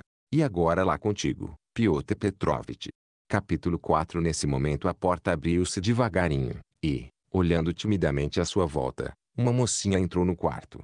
Todos se voltaram para olhá-la com espanto e curiosidade. A princípio, Raskolnikov não a reconheceu. Era Sônia Semyonovna Marmeladova. Tinha visto pela primeira vez na noite anterior, mas apenas um instante, num ambiente com um traje tal, que na sua memória ficara a imagem de uma criatura totalmente diferente. Esta de agora era uma mocinha modesta, e até pobremente vestida, muito nova ainda, quase uma menina, modesta e decentezinha, com uma carinha ingênua, mas um pouco sobressaltada. Vestia uma roupinha simples, caseira, na cabeça um chapelinho velho, fora de moda, mas trazia na mão, como na noite anterior, a sua sombrinha. Ao ver o quarto cheio de gente, contra o que esperava, Não só ficou embaraçada como completamente desorientada, corou como uma criança e até fez menção de retirar-se. Ah! É a menina! Disse Raskolnikov profundamente admirado e, de súbito, também ele ficou perturbado. Lembrou-se imediatamente de que a mãe e a irmã estavam já par, graças à carta de Lugin, da existência de certa moça de má fama. Havia apenas um momento que protestara contra a calúnia de Lugin, declarando que nunca antes vira a referida moça, e eis que ela, de repente, vinha a ter com ele. Tudo isso passou vagamente durante um segundo pela sua imaginação, mas reparando mais atentamente, pôde ver que ela era uma criatura humilde, a tal ponto humilde que, de repente, lhe inspirou piedade. Quando a moça fez aquele movimento para se retirar, assustada, qualquer coisa se revelou a ele. Não a esperava, disse atropeladamente, detendo-a com o olhar. Faça favor de se sentar. Deve vir, com certeza, da parte de Ekaterina Ivanovna. Dê-me licença. Aí não, aqui, sentem-se todos. A chegada de Sônia, Razumikin, que estava sentado em uma das três cadeiras de Raskolnikov, mesmo junto da porta, levantou-se para que ela pudesse entrar. A princípio, Raskolnikov indicou-lhe uma ponta do divã onde estivera sentado Zozimov, mas, reconsiderando depois que o divã era um lugar demasiadamente familiar, apressou-se a apontar-lhe a cadeira de Razumikin. Senta-te tu aqui, disse Razumikin, acomodando-o na mesma ponta do divã que tinha ocupado Zozimov. Sônia sentou-se quase tremendo de medo e olhou timidamente para as senhoras. Era evidente que nem ela própria compreendia como é que podia estar sentada ali, juntamente com elas. Quando pensou nisso sentiu-se tão atemorizada, que de repente tornou a levantar-se, e, completamente desorientada, exclamou, dirigindo-se a Raskolnikov, eu, eu, vim só um momento, desculpe ter vindo incomodá-lo, balbuciou. Foi Katerina Ivanovna quem me mandou. Porque não tinha outra pessoa de quem se valer. Ekaterina Ivanovna encarregou-me de lhe pedir que não faltasse amanhã ao funeral, de manhã. Depois da missa. Em São Mitrofã, e depois a casa. A sua casa. Comer qualquer coisa. Dá-lhe a uma grande honra. Mandou-me que lhe pedisse isto muito encarecidamente. Sônia acabou ficar completamente confundida e não continuou. Farei todo o possível, sem dúvida alguma, respondeu Raskolnikov levantando-se também, e, muito perturbado, não continuou. Mas faça o favor de se sentar, dê-me licença dois minutos. E ofereceu-lhe uma cadeira. Sônia tornou a sentar-se a olhar timidamente, de soslaio e muito envergonhada, para aquelas duas senhoras, acabando baixar os olhos. O lívido semblante de Raskolnikov ruborizou-se. O rapaz parecia completamente transtornado. Os olhos brilhavam-lhe. Maminha, disse em tom firme e resoluto, é Sônia Semyonovna Marmeladova, a filha desse mesmo infeliz senhor Marmeladov, que ontem, na minha presença, foi atropelado um carro e do qual já lhe falei. O que era Alexandrovna lançou um olhar a Sônia e piscou levemente os olhos. Apesar de toda a sua perturbação, perante o firme e reprovador olhar de Rodika, não pôde privar-se desse gosto. Dunietka olhou séria atentamente para o rosto da pobre moça, e ficou a contemplá-la com perplexidade. Sônia, quando ouviu pronunciar o seu nome, tornou a erguer os olhos, mas ficou ainda mais embaraçada do que antes. Eu queria perguntar-lhe, disse Raskolnikov, dirigindo-se a ela rapidamente, como é que passaram hoje? Não as incomodaram? Refiro-me à polícia. Não, tudo tem corrido bem. Não vê que se percebia claramente de que aquele morrera? Não nos incomodaram. Os que se queixaram foram os vizinhos. Que? Porque o cadáver esteve ali muito tempo. Porque, o senhor bem vê, como agora faz este calor e está um ar tão abafado. Isso ainda esta tarde o levam para o cemitério, onde ficará até amanhã, na capela. A princípio, Ekaterina Ivanovna não queria, mas acabou compreender que não era possível outra coisa. De maneira que hoje, isso pede-lhe que lhe dê a honra de assistir amanhã ao funeral, na igreja, e de passar depois sua casa para tomar parte no jantar de enterro. Mas ela preparou um jantar? Sim, qualquer coisa, encarregou-me com muita insistência de exprimir-lhe o seu agradecimento pelo donativo de ontem. Se não fosse o senhor, agora, não teria com que fazer o enterro. E de súbito tremeram-lhe os lábios e o queixo, mas dominou-se, fez-se forte e apressou-se outra vez a fixar a vista no chão. Durante o diálogo, Raskolnikov observava, atento.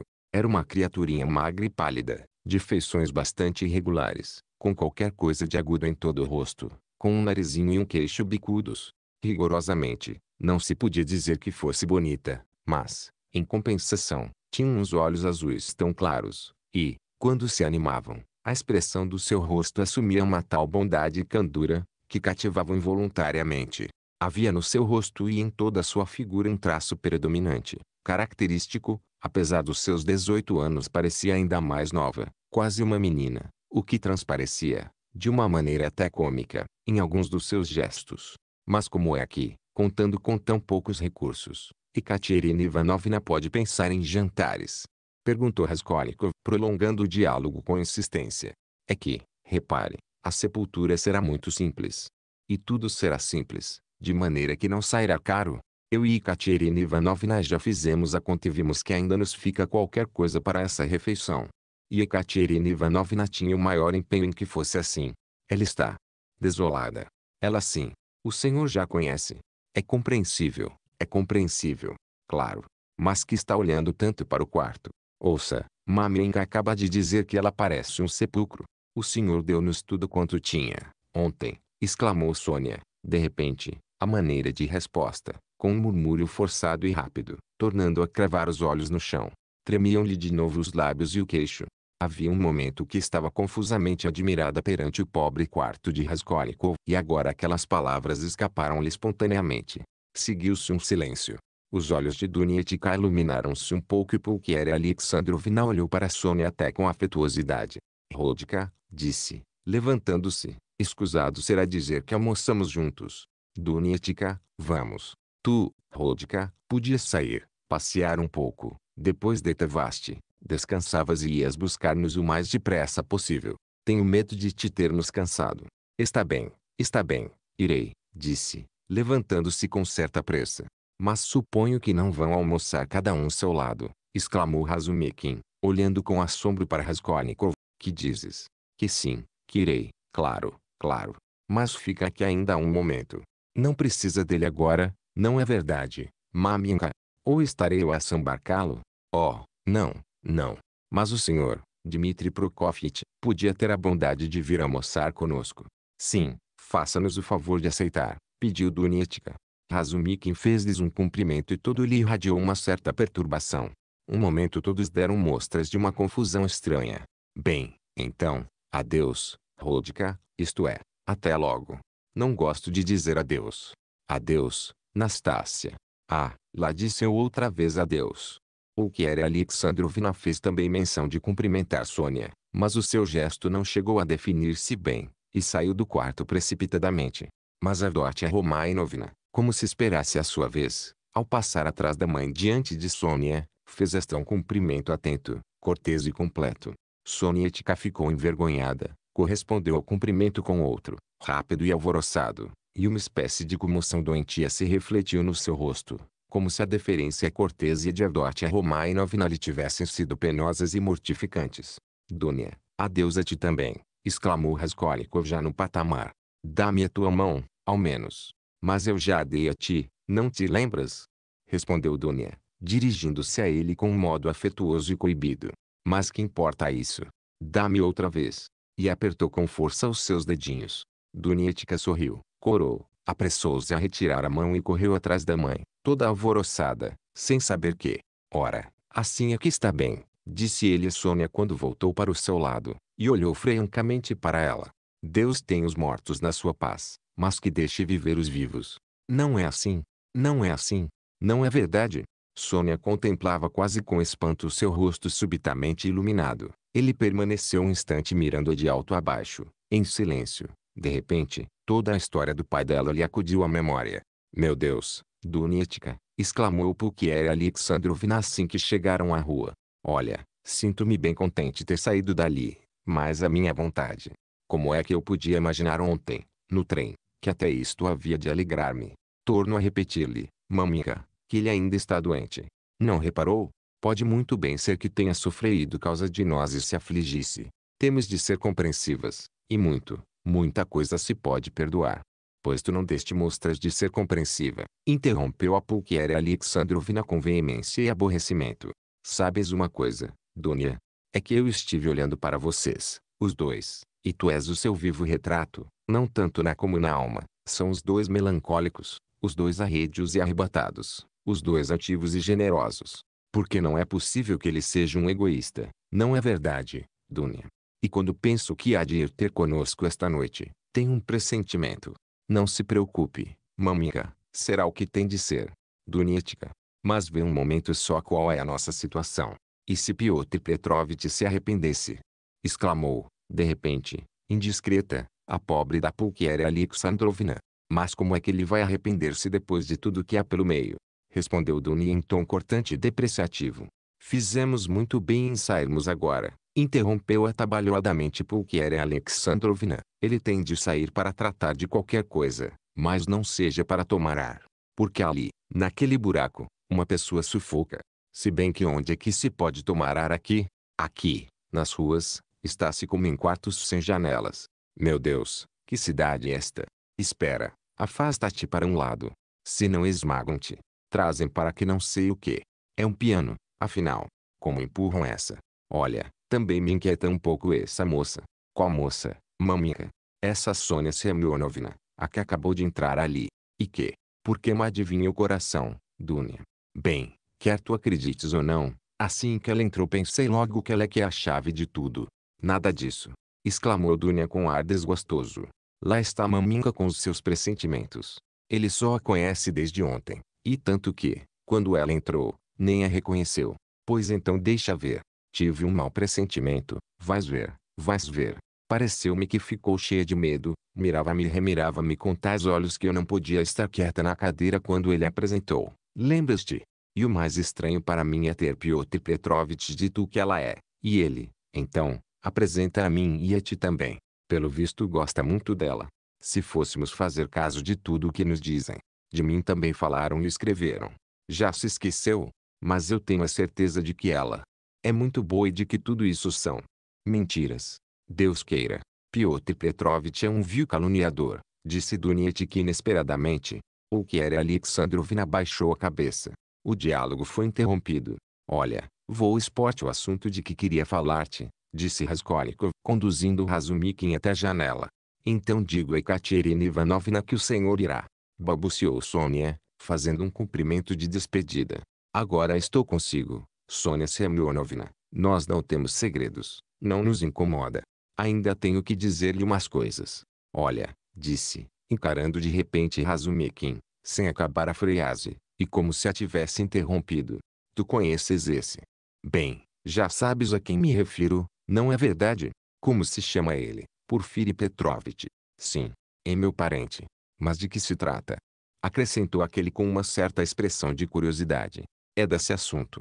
Bem, daquele crime. De que falamos ontem. E cujo processo ele está organizando, não é? Sim. Mas. E Razumikin abriu de repente uns olhos enormes. É que ele anda investigando os nomes dos clientes da usurária e eu também tinha lá objetos. Pouca coisa, é claro, um anel que a minha irmã me ofereceu como recordação quando eu vim para aqui, e um relógio de prata, que era do meu pai. Tudo isso valerá ao todo uns cinco ou seis rublos, mas eu tenho essas coisas em grande estima serem recordações. Que hei de fazer agora? Não queria que esses objetos fossem vendidos, sobretudo o relógio. Há pouco até tremi com medo de que a minha mãe mostrasse o desejo de vê-lo, quando a conversa caiu sobre o relógio de Dunietka.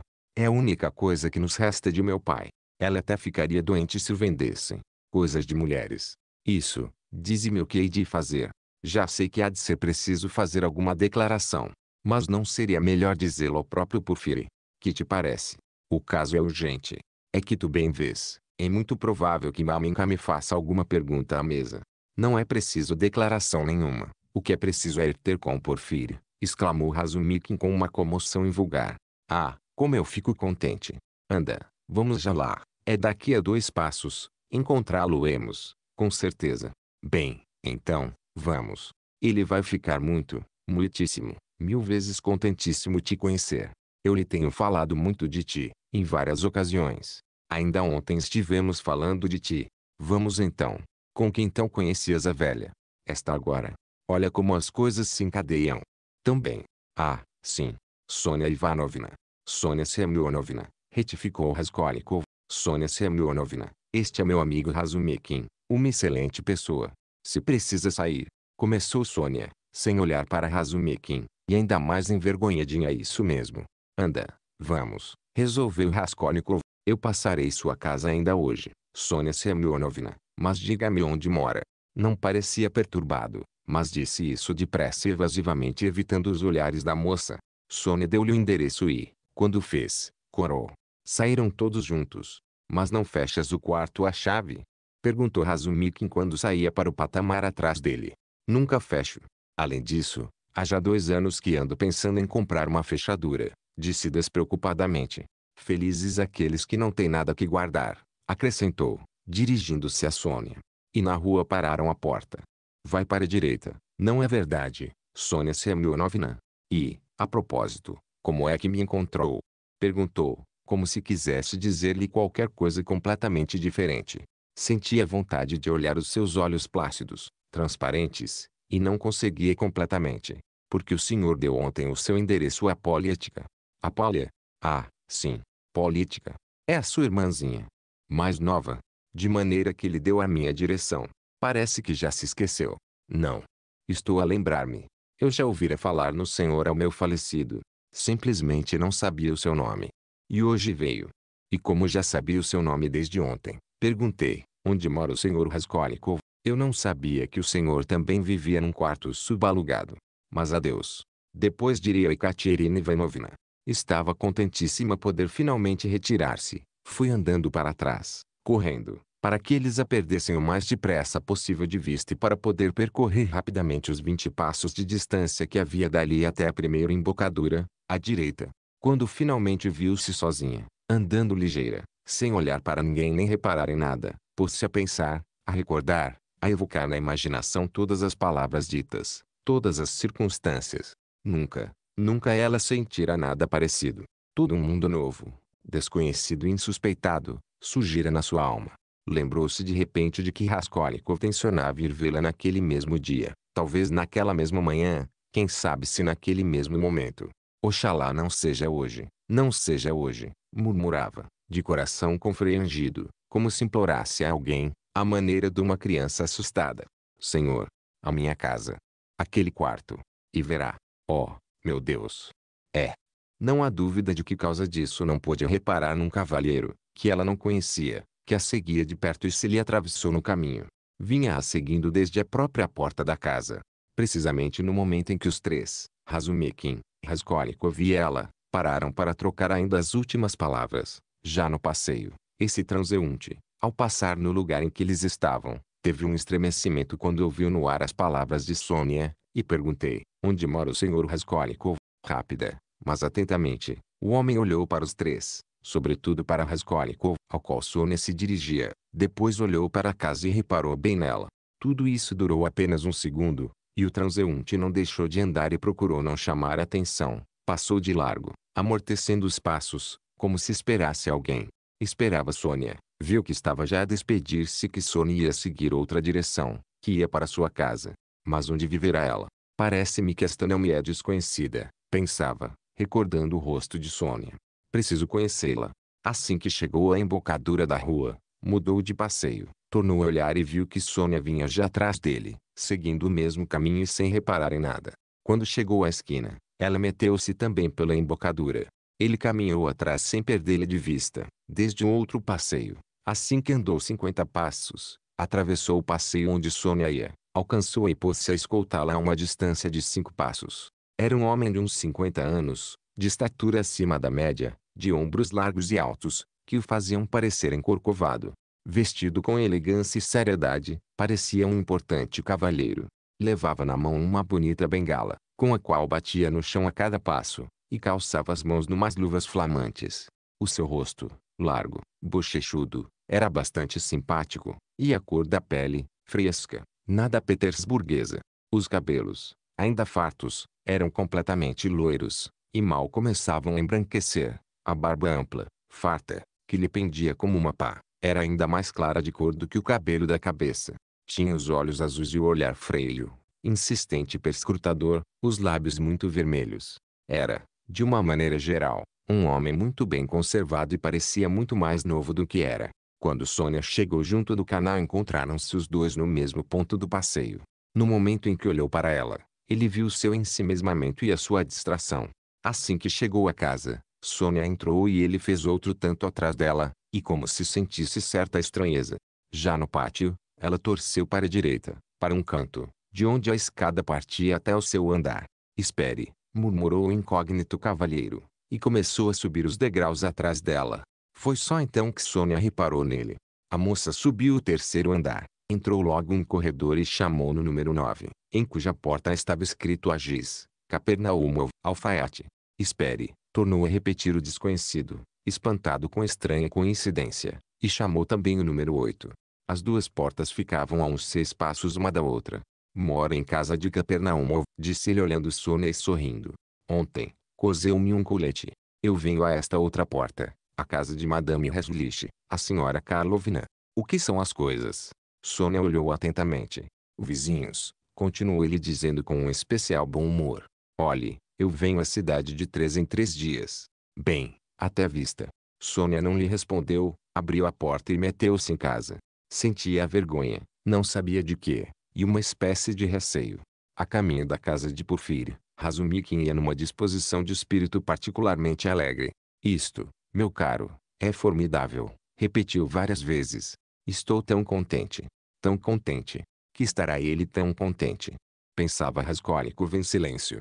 Olha, é que eu não sabia que tu também figuravas entre os clientes da velha. É. É. Há muito tempo que estiveste pela última vez em casa dela? Mas que tolo tão ingênuo.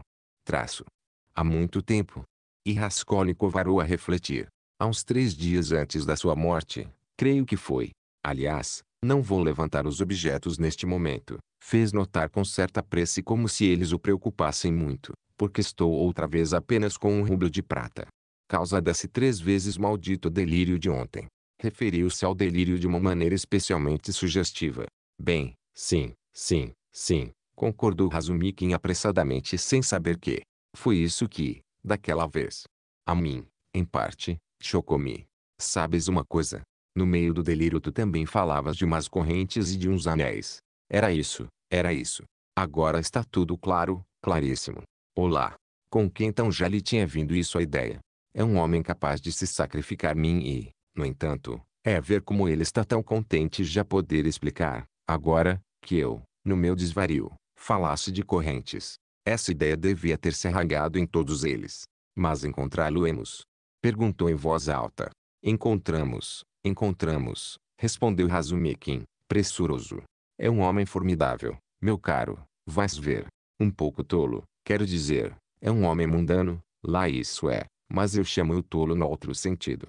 Um rapaz inteligente, mesmo muito inteligente, simplesmente, tem uma maneira de pensar um pouco extravagante. Desconfiado, cético, cínico. Gosta de enganar, isto é, de enganar, não, mas de atrapalhar as pessoas. É materialmente agarrado aos velhos métodos.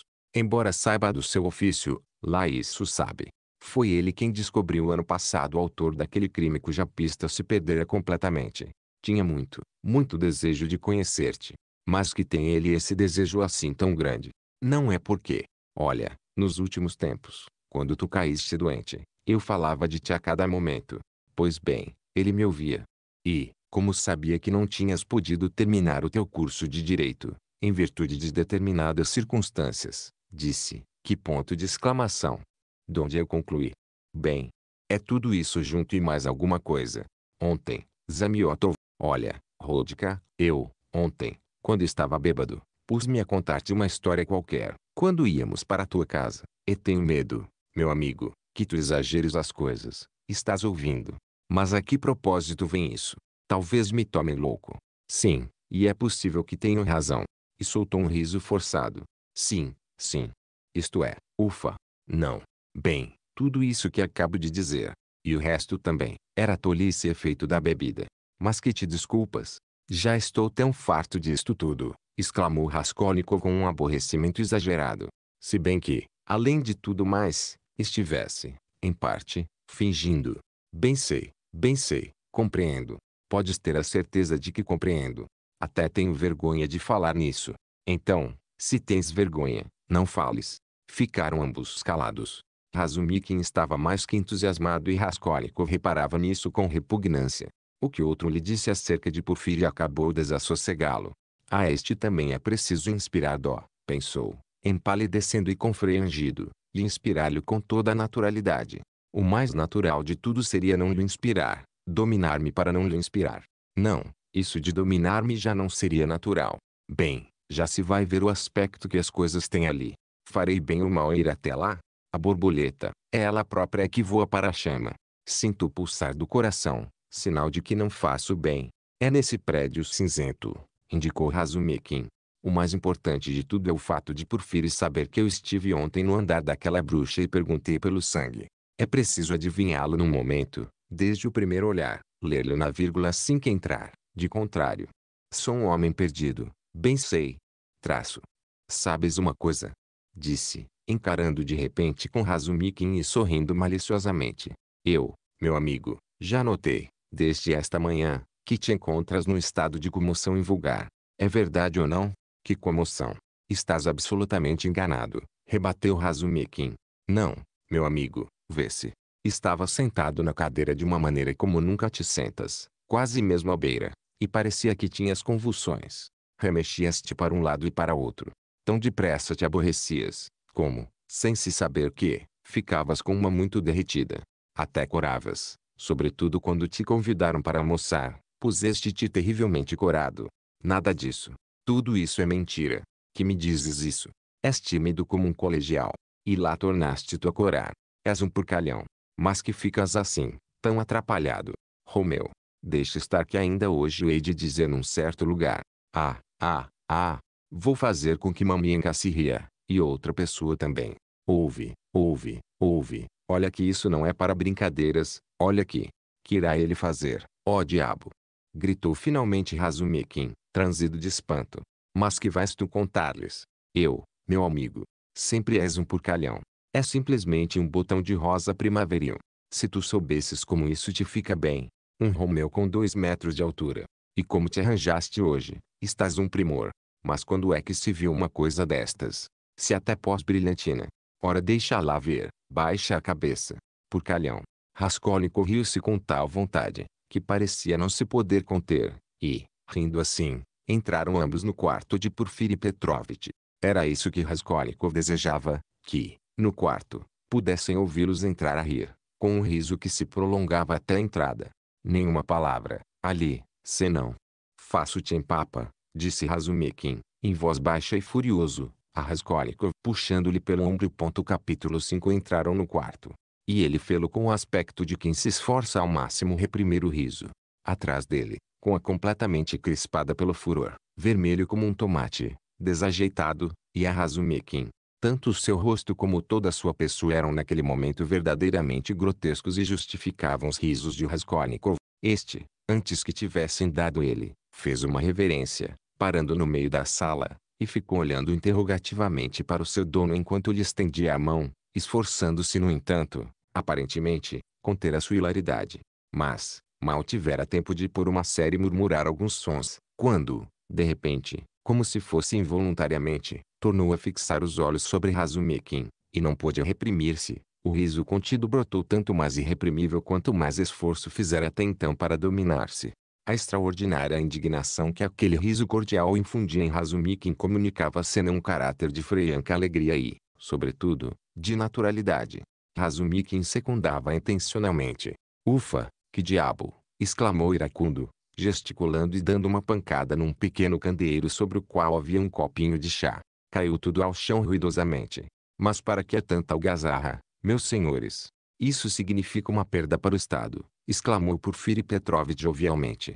A cena corria desta maneira. Raskolnikov, com as suas risadas, esquecera sua mão na do dono da casa, mas, consciente da sua ação, aguardava o momento de acabar o cumprimento da maneira mais rápida e natural. Razumikin, que acabara ficar completamente atrapalhado com a queda do candeeiro e com a quebra do copo, contemplou os cacos com uma expressão sombria, cuspiu e afastou-se logo em direção à janela, onde ficou de costas para os amigos e de sobrolho ferozmente carregado, olhando para fora mas sem ver nada. Porfiri Petrovitch pôs-se a rir, e ria com vontade, embora fosse evidente que lhe era indiferente ouvir uma explicação. Num canto, sentado na sua mesa, estava Zamiotov, que se levantara um pouco quando viu entrar os visitantes e esperava, de boca aberta num sorriso, mas contemplando a cena com perplexidade e até receoso, e Raskolnikov com uma evidente curiosidade. A inesperada presença de Zamiotov causou-lhe uma desagradável impressão. Eis, aqui uma coisa que deve ser tomada em conta, pensou. Queira desculpar, começou Raskolnikov, fingindo-se embaraçado. Ora essa, tenho muito prazer, os senhores entraram de uma maneira muito engraçada. Mas que, nem ao menos nos quer dar os bons dias. E Porfiri Petrovitch apontou Razumikin com um gesto. Amor de Deus, não sei que te puseste assim comigo. A única coisa que eu lhe fiz foi dizer-lhe durante o caminho que ele parecia um Romeu é. Demonstrar-lhe, e, que eu saiba, não se passou mais nada. Porco, respondeu Razumikin sem se voltar.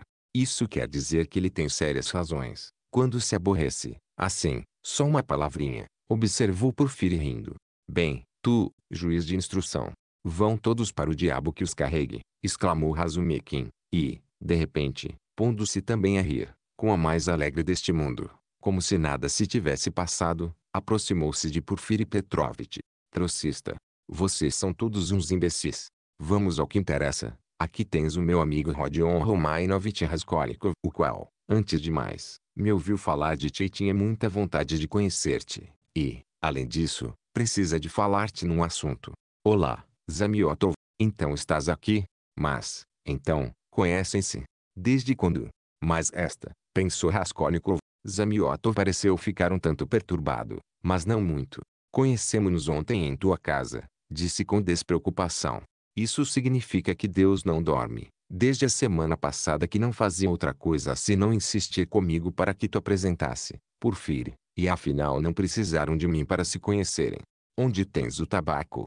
Porfire Petrovitch estava em traje caseiro, de roupão, roupa interior muito limpa, e chinelos. Era um homem de uns 35 anos, de estatura um pouco abaixo da média, um tanto cheio e até com o ventre proeminente, de completamente rapada, sem bigode nem suíças, com o cabelo cortado rente na sua cabeça grande e redonda, que formava uma protuberância muito arredondada, sobretudo no cachaço. A vírgula cheia, redonda e um pouco achatada, era de uma cor doentia, amarelo escura, mas muito viva e até risonha. Se não fosse a expressão dos olhos de um certo brilho aquoso, cobertos umas pestanas quase brancas, sempre em movimento, como se estivesse piscando os olhos alguém, poder-se-ia qualificá-la de bonacheirona. O olhar desses olhos formava um contraste estranho com toda a sua figura, em que havia algo de feminino, e comunicava-lhe uma seriedade maior do que, à primeira vista, se podia esperar. Assim que ouviu dizer que o visitante tinha um assunto a tratar consigo, Porfiri Petrovitch pediu-lhe imediatamente que se sentasse no divã, sentando-se ele na outra ponta, e ficou olhando para ele, na expectativa imediata da exposição do assunto com essa atenção forçada e demasiado séria que até aborrecida e perturba pela primeira vez, sobretudo a um desconhecido, e, principalmente, se aquilo que se tem a dizer não tem importância proporcional com a deferência que se lhe empresta.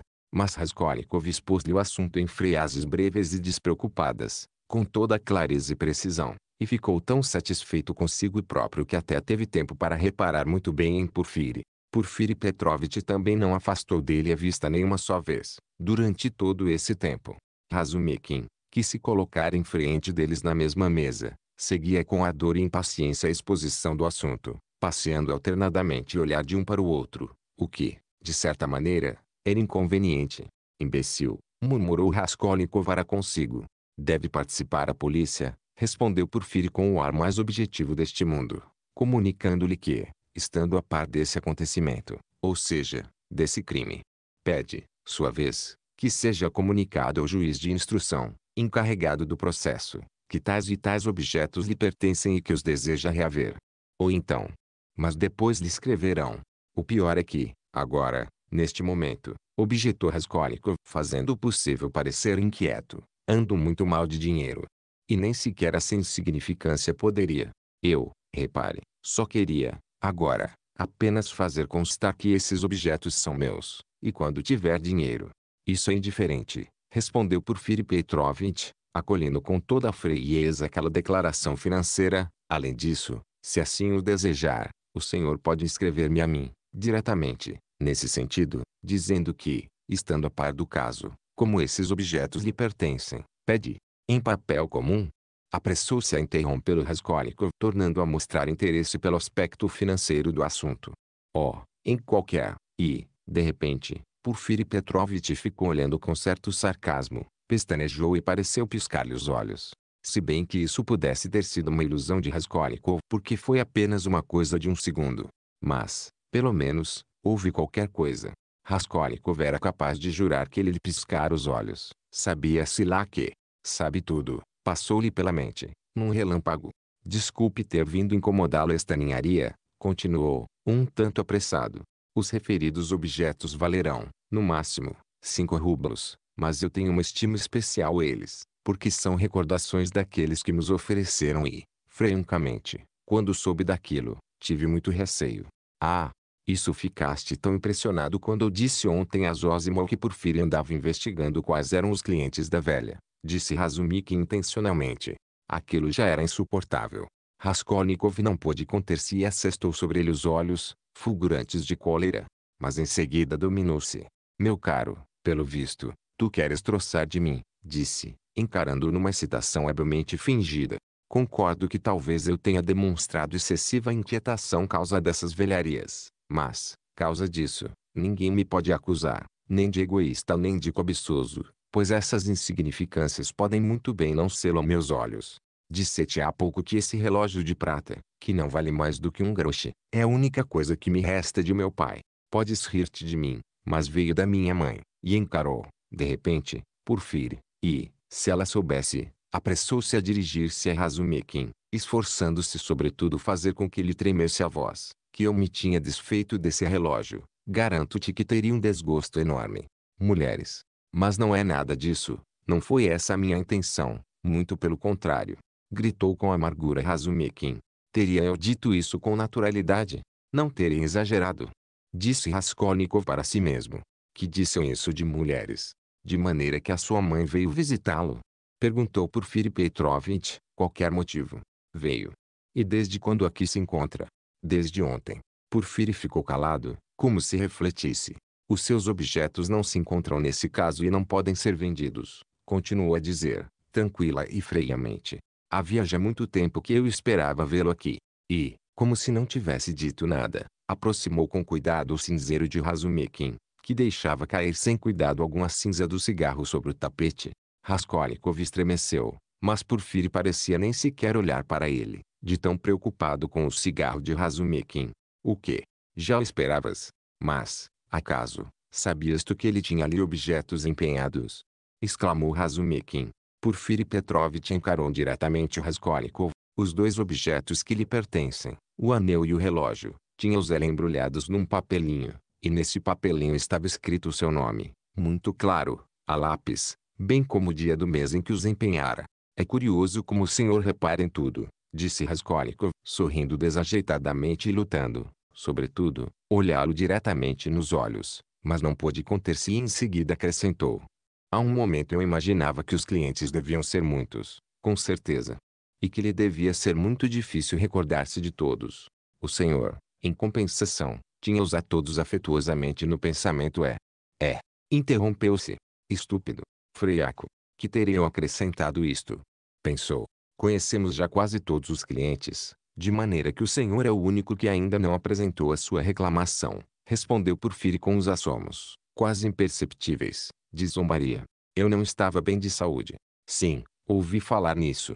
Disseram-me também que o senhor estava muito excitado não sei que motivo. Neste momento parece-me que também está um pouco pálido. Nada disso. Pelo contrário, estou completamente restabelecido, disse Raskolnikov grosseiro e hostilmente, mudando subitamente de tom. Fervia em cólera e não podia conter-se. Vou denunciar-me com esta cólera, tornou a pensar. Mas que me martirizam. Completamente bom não está, contradisse Razumikin. Ainda ontem estava quase sem conhecimento, delirando. Mas queres acreditar, Porfire, Assim que pôde ter-se de pé, e assim que nós saímos dali, eu Zózimo ontem, vestiu-se, escapou-se e foi não sei onde, e lá andou quase até de madrugada, e isso no mais completo estado de delírio, garanto-te. Portanto já podes imaginar. É um caso interessante. Disseste no mais completo estado de delírio. Faz o favor de falar. E Porfire moveu a cabeça num gesto um pouco feminino. Oh, é um disparate. Não acredite nele. Se bem que não é preciso ser eu a dizer-lhe que não acredite. E Raskolnikov deixou transparecer já uma ira excessiva. Mas Porfiri procedeu como se não tivesse ouvido essas estranhas palavras. Mas como é que tu podias sair de casa se não estivesses delirando? Insistiu Razumikin. Que saíste? Para quê? E, sobretudo, que saíste às escondidas. Ora vejamos, estarias tu em teu perfeito juízo? Agora que o perigo já passou, posso falar-te francamente. É que ontem todos me aborreceram, disse Raskolnikov dirigindo-se a Porfiri com um sorrisinho indolente de censura, e eu saí de casa com a intenção de procurar outro quarto onde não pudessem dar comigo e levei a mão cheia de dinheiro. Ali está o senhor Zamiotov, que viu o dinheiro. Ora vamos lá ver, senhor Zamiotov. Eu, ontem, estava em meu perfeito juízo ou estava delirando. Vamos, decida o senhor sobre esta questão. Dir-se-ia que, nesse momento, de boa vontade teria estrangulado Zamiotov. O seu olhar e o seu silêncio desagradaram-lhe completamente.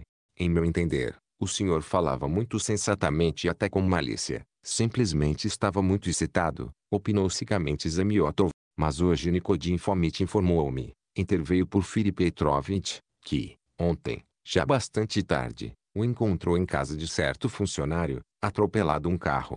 Isso mesmo, a propósito desse funcionário, interpôs Razumikin. Só isso bastaria. Não te portaste aí como um tolo. Deste a viúva tudo quanto tinhas contigo para o enterro. Porque, está bem, se querias socorrê-la.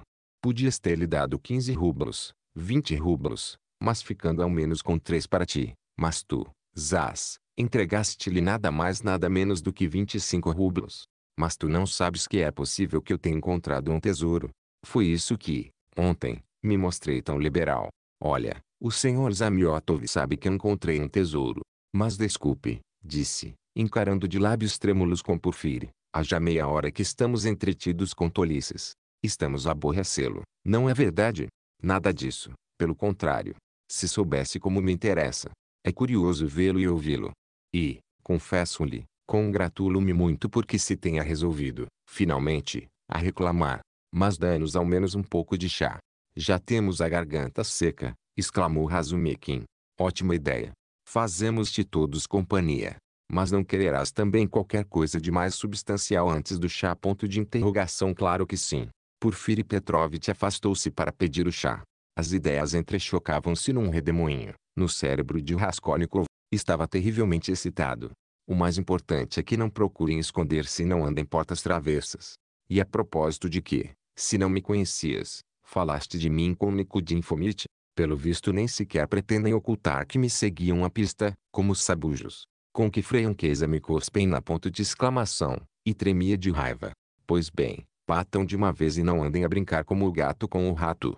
Isso não é delicado. Porfiri Petrovitch, olha que pode acontecer que eu não consinta. Levantar-me-ei e direi toda a verdade, na tua vírgula verdade toda, e verão como os desprezo a todos. Respirava precipitadamente. Mas se isto tudo fosse uma ilusão minha, se tudo isso fosse uma simples miragem, e eu estivesse enganado, e me enfurecesse pela minha inexperiência, e não soubesse sequer desempenhar o meu ignóbil o papel, pode ser que tudo isto não seja intencional. Todas as suas palavras são vulgares, mas encerram qualquer coisa.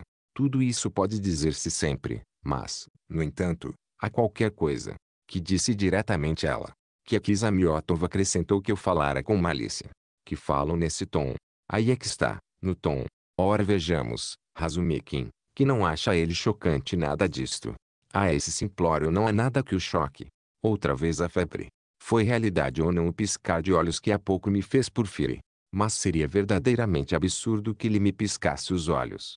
Serão os nervos ou querem eles irritar-me, exasperar-me? Será tudo isto uma miragem ou realmente sabem? Até Zamiotov se mostra insolente. Mostra-se insolente, Zamiotov. Zamiotov passou a noite numa apreensão. Eu nem calculava que havia de ser assim. Ele está aqui como em sua casa, e eu é a primeira vez que venho. Porfire não considera uma visita. Senta-se voltando-lhe as costas. Entendem-se os dois. É infalível que se entendam a meu respeito. Deviam estar falando de mim quando nós chegamos. Devem saber do caso do andar. Ah, quanto eu daria sabê-lo agora mesmo.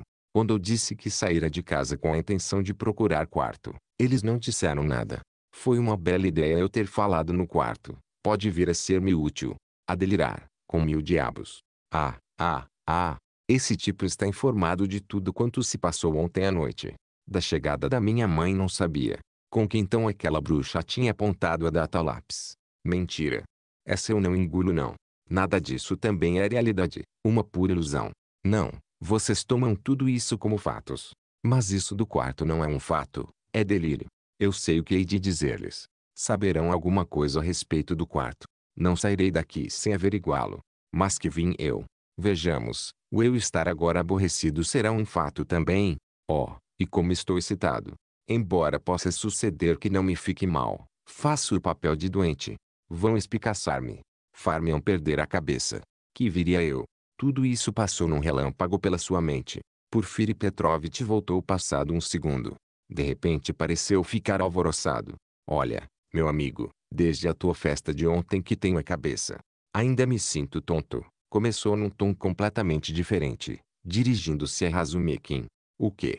A reunião esteve boa? Acaso tive que deixar-vos no ponto mais interessante? Quem é que levou ao melhor? Ninguém, naturalmente. Agitavam as eternas questões, exaltavam-se. Imagina, Rodka, o que chegaram a discutir, se o crime existe ou não. Fartarão-se de disparatar. Que tem isso de extraordinário? É uma questão social vulgar, respondeu Raskolnikov com ar distraído. Não foi assim que eles puseram a questão, observou Porfiri. É verdade, concordou logo Razumikin, atrapalhando-se e exaltando-se, conforme o seu costume. Olha, Rodka, primeiro escuta, e depois dá a tua opinião. Gostava que o fizesses. Eu, ontem, estava numa ansiedade, à tua espera, tinha-lhes prometido que tu irias. A coisa começou pelo ponto de vista dos socialistas. Já se sabe qual é. O crime é um protesto contra a anormalidade do regime social. Isso é só isso, e é escusado procurar-lhe outras causas. Acabou-se. Mentira, exclamou Porfiri Petrovitch. Era notório que se entusiasmava, e sorria a cada instante, olhando para Razumikin. Qual mentira? Hei de mostrar-te livros, segundo eles, todos os crimes se devem ao ambiente deletério, e nada mais. Magnífica frase. De onde se deduz, diretamente, que, se a sociedade estivesse normalmente constituída, então acabariam imediatamente todos os crimes, visto que já não haveria contra que protestar e todos passariam instantaneamente a ser inocentes. Quanto à natureza, não a tomam em consideração, puseram-na no olho da rua, não toleram a natureza. Para eles não é a natureza que, desenvolvendo-se de um modo histórico, vivo, até o fim, acabará a transformar-se ela própria numa sociedade normal, mas, pelo contrário, será o sistema social que, brotando de alguma cabeça matemática, procederá em seguida a estruturar toda a humanidade e, num abrir e fechar de olhos, a tornará justa e inocente, mais depressa do que qualquer processo vivo, sem seguir nenhum caminho histórico e natural. Isso eles sentem instintivamente aversão pela história. Nela só se encontra monstruosidade e estupidez. Deitam todas as culpas para cima de estupidez. E isso também não amam o processo vital da vida. Não querem nada com a alma viva. A alma viva da vida tem exigências. A alma viva não obedece mecanicamente. A alma viva é suspicaz. A alma viva é retrógrada. E, embora cheire a mortos, eles podem construir com a alma de borracha. Que não será viva, nem terá vontade, será uma escrava e não se revoltará. E chegam ao resultado de idealizar um simples amontoado de tijolos. Sim, a distribuição de corredores e quartos do falanstério. O falanstério está pronto, mas a vossa natureza ainda não está para o falanstério. Anseia pela vida. O processo vital ainda não terminou. Ainda é cedo para a cova. É impossível saltar com a lógica apenas cima da natureza. A lógica pressupõe três casos, ao passo que há milhões deles. Pois façam tábua rasa desses milhões e reduzam tudo ao simples problema do conforto. Essa é a solução mais fácil do enigma. De uma clareza sedutora, e evita o incômodo de pensar. Porque o essencial é isso, não ter que pensar. Todos os mistérios da vida podem compendiar-se em duas folhas de papel impresso. Ele no seu elemento. É preciso ter mão dele, gracejou Porfire. Imagine seis pessoas metidas num quarto e, além disso, previamente encharcadas em álcool. Já pode fazer uma ideia.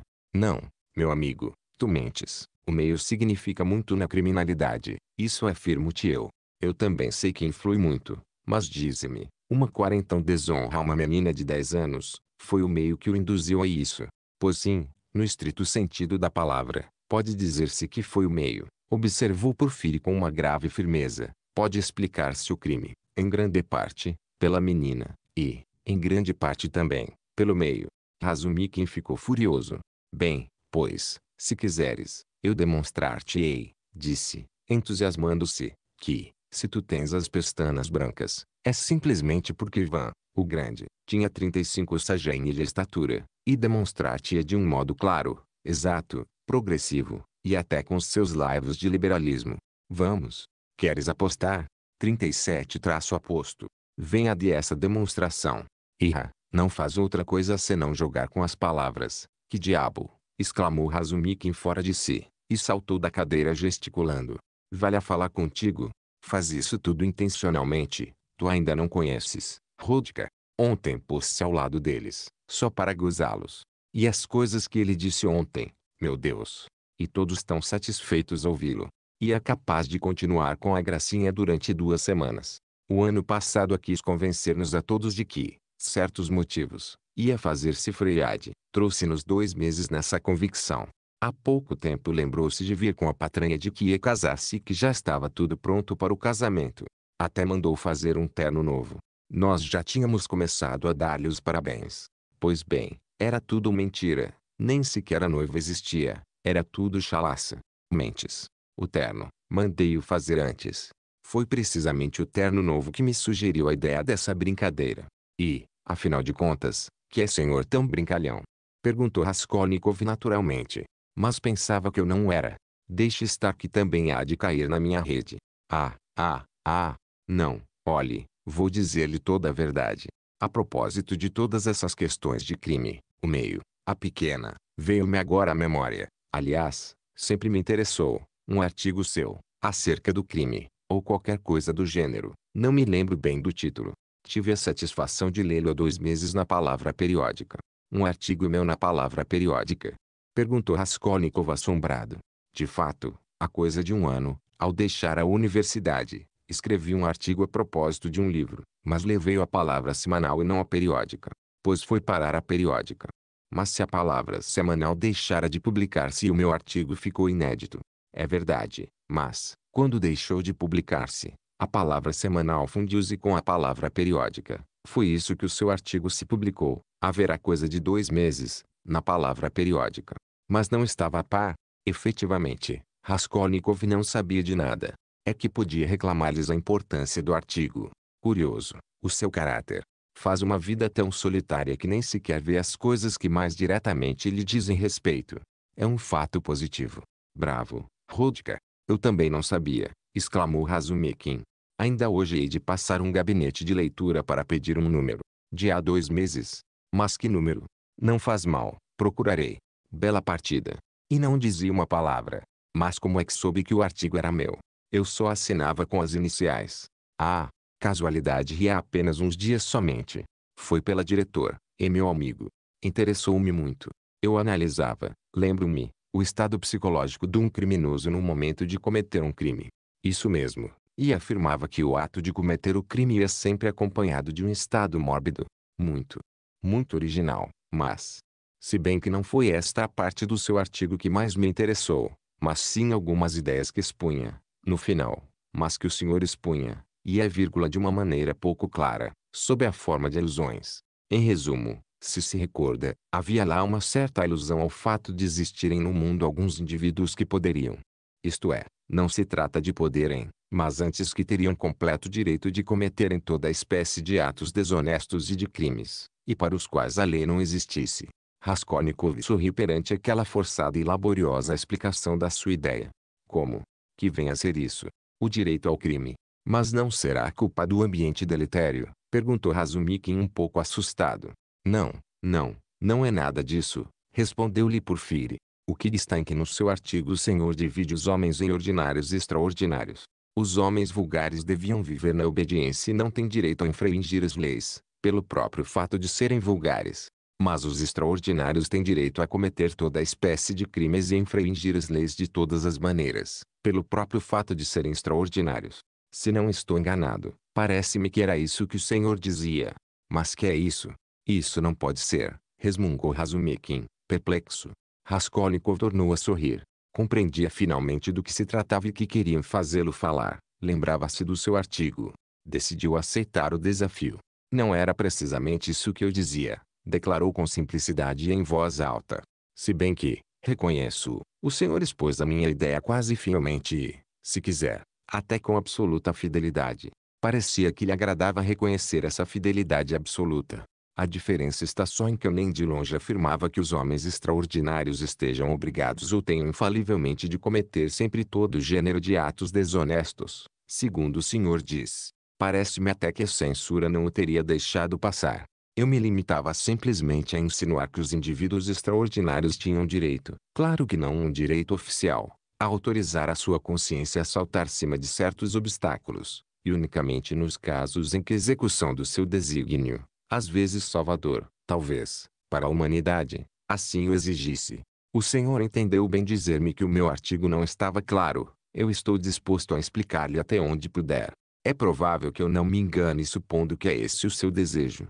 A meu ver, se as descobertas de Kepler e de Newton, em consequência de certas circunstâncias, não tivessem chegado ao conhecimento dos homens de outra maneira senão mediante o sacrifício da vida de um, dez, cem ou mais homens, que se opusessem a essa descoberta ou se atravessassem no seu caminho como obstáculos, Newton, então, teria tido o direito e até dever de eliminar esses dez ou esses cem homens, a fim de que as suas descobertas chegassem ao conhecimento de toda a humanidade.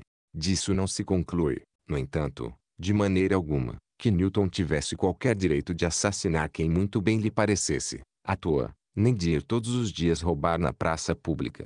Lembro-me também de que eu, no meu artigo, desenvolvi a ideia de que todos, digamos, exemplo, os legisladores e os fundadores da humanidade, começando pelos mais antigos e continuando Licurgo, Solon, Maomé, Napoleão etc. etc. Todos, desde o primeiro até o último, tinham sido criminosos, mas não fosse senão porque, ao promulgarem leis novas, aboliam as antigas, tidas sagradas pela sociedade e pelos antepassados, e certamente que não se teriam detido perante o sangue, sempre que isso, derramado às vezes com toda a inocência e virtude, em defesa das velhas leis, pudesse ser-lhes útil. Também é significativo que a maior parte desses benfeitores e fundadores da humanidade fossem uns sanguinários, especialmente ferozes. Em resumo, eu concluía daqui que todos os indivíduos, não só os grandes, como também aqueles que se afastassem um pouco da vulgaridade, isto é, também aqueles que são capazes de dizer qualquer coisa de novo, teriam a obrigação, pela sua própria natureza, de serem infalivelmente criminosos. Em maior ou menor grau, naturalmente. De outro modo, ser-lhes é difícil saírem da vulgaridade, e eles não podem conformar-se a ficar nela, até pela mesma razão da sua natureza e, a meu ver, têm até a obrigação de não se conformarem. Em resumo, como o senhor vê, até aqui, isto não tem nada de particularmente novo. Isto já se imprimiu e foi lido milhares de vezes. Pelo que diz respeito à minha distinção entre homens vulgares e extraordinários, concordo em que é um tanto arbitrária, mas eu não citava números exatos. Eu só tenho fé na minha ideia essencial, que é aquela que consiste em dizer concretamente que os indivíduos se dividem, segundo a lei da natureza, em duas categorias, a inferior, a dos vulgares, isto é, se me permite a expressão, a material, que unicamente é proveitosa para a procriação da espécie, e a dos indivíduos que possuem o dom ou a inteligência para dizerem no seu meio uma palavra nova.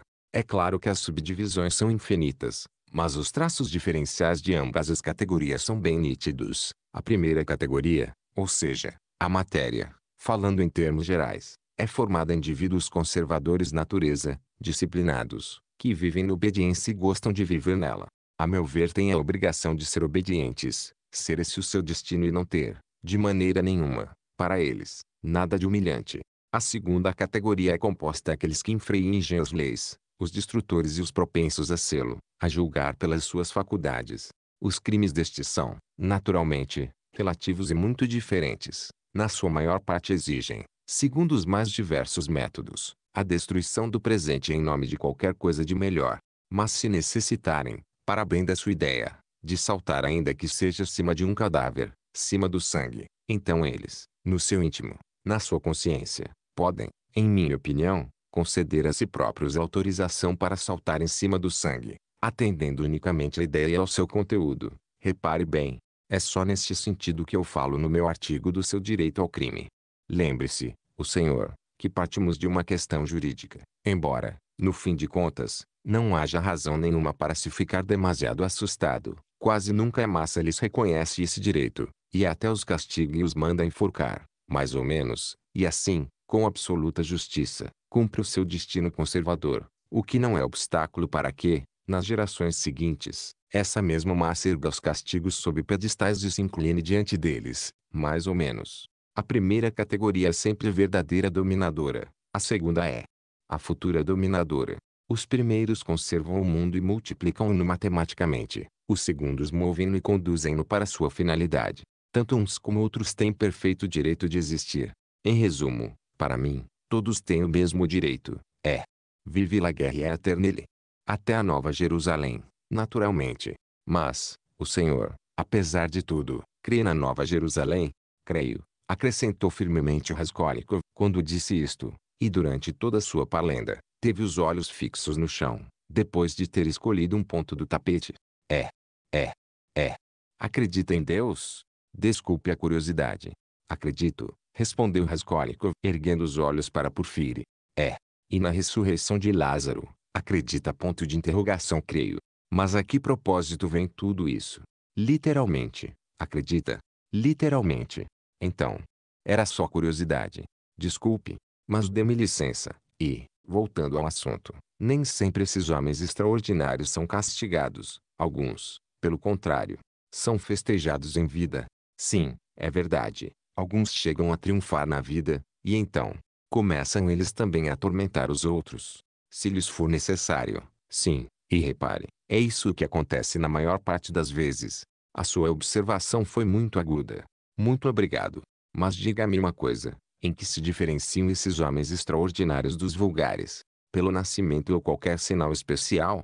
Parece-me que seria necessário mais exatidão, assim dizer, mais distinção no exterior. Desculpe em minha natural inquietação de um homem prático e bem intencionado, mas não seria possível, exemplo, que usassem um traje especial, algum distintivo, alguma insígnia, qualquer coisa, enfim, que os desse a conhecer.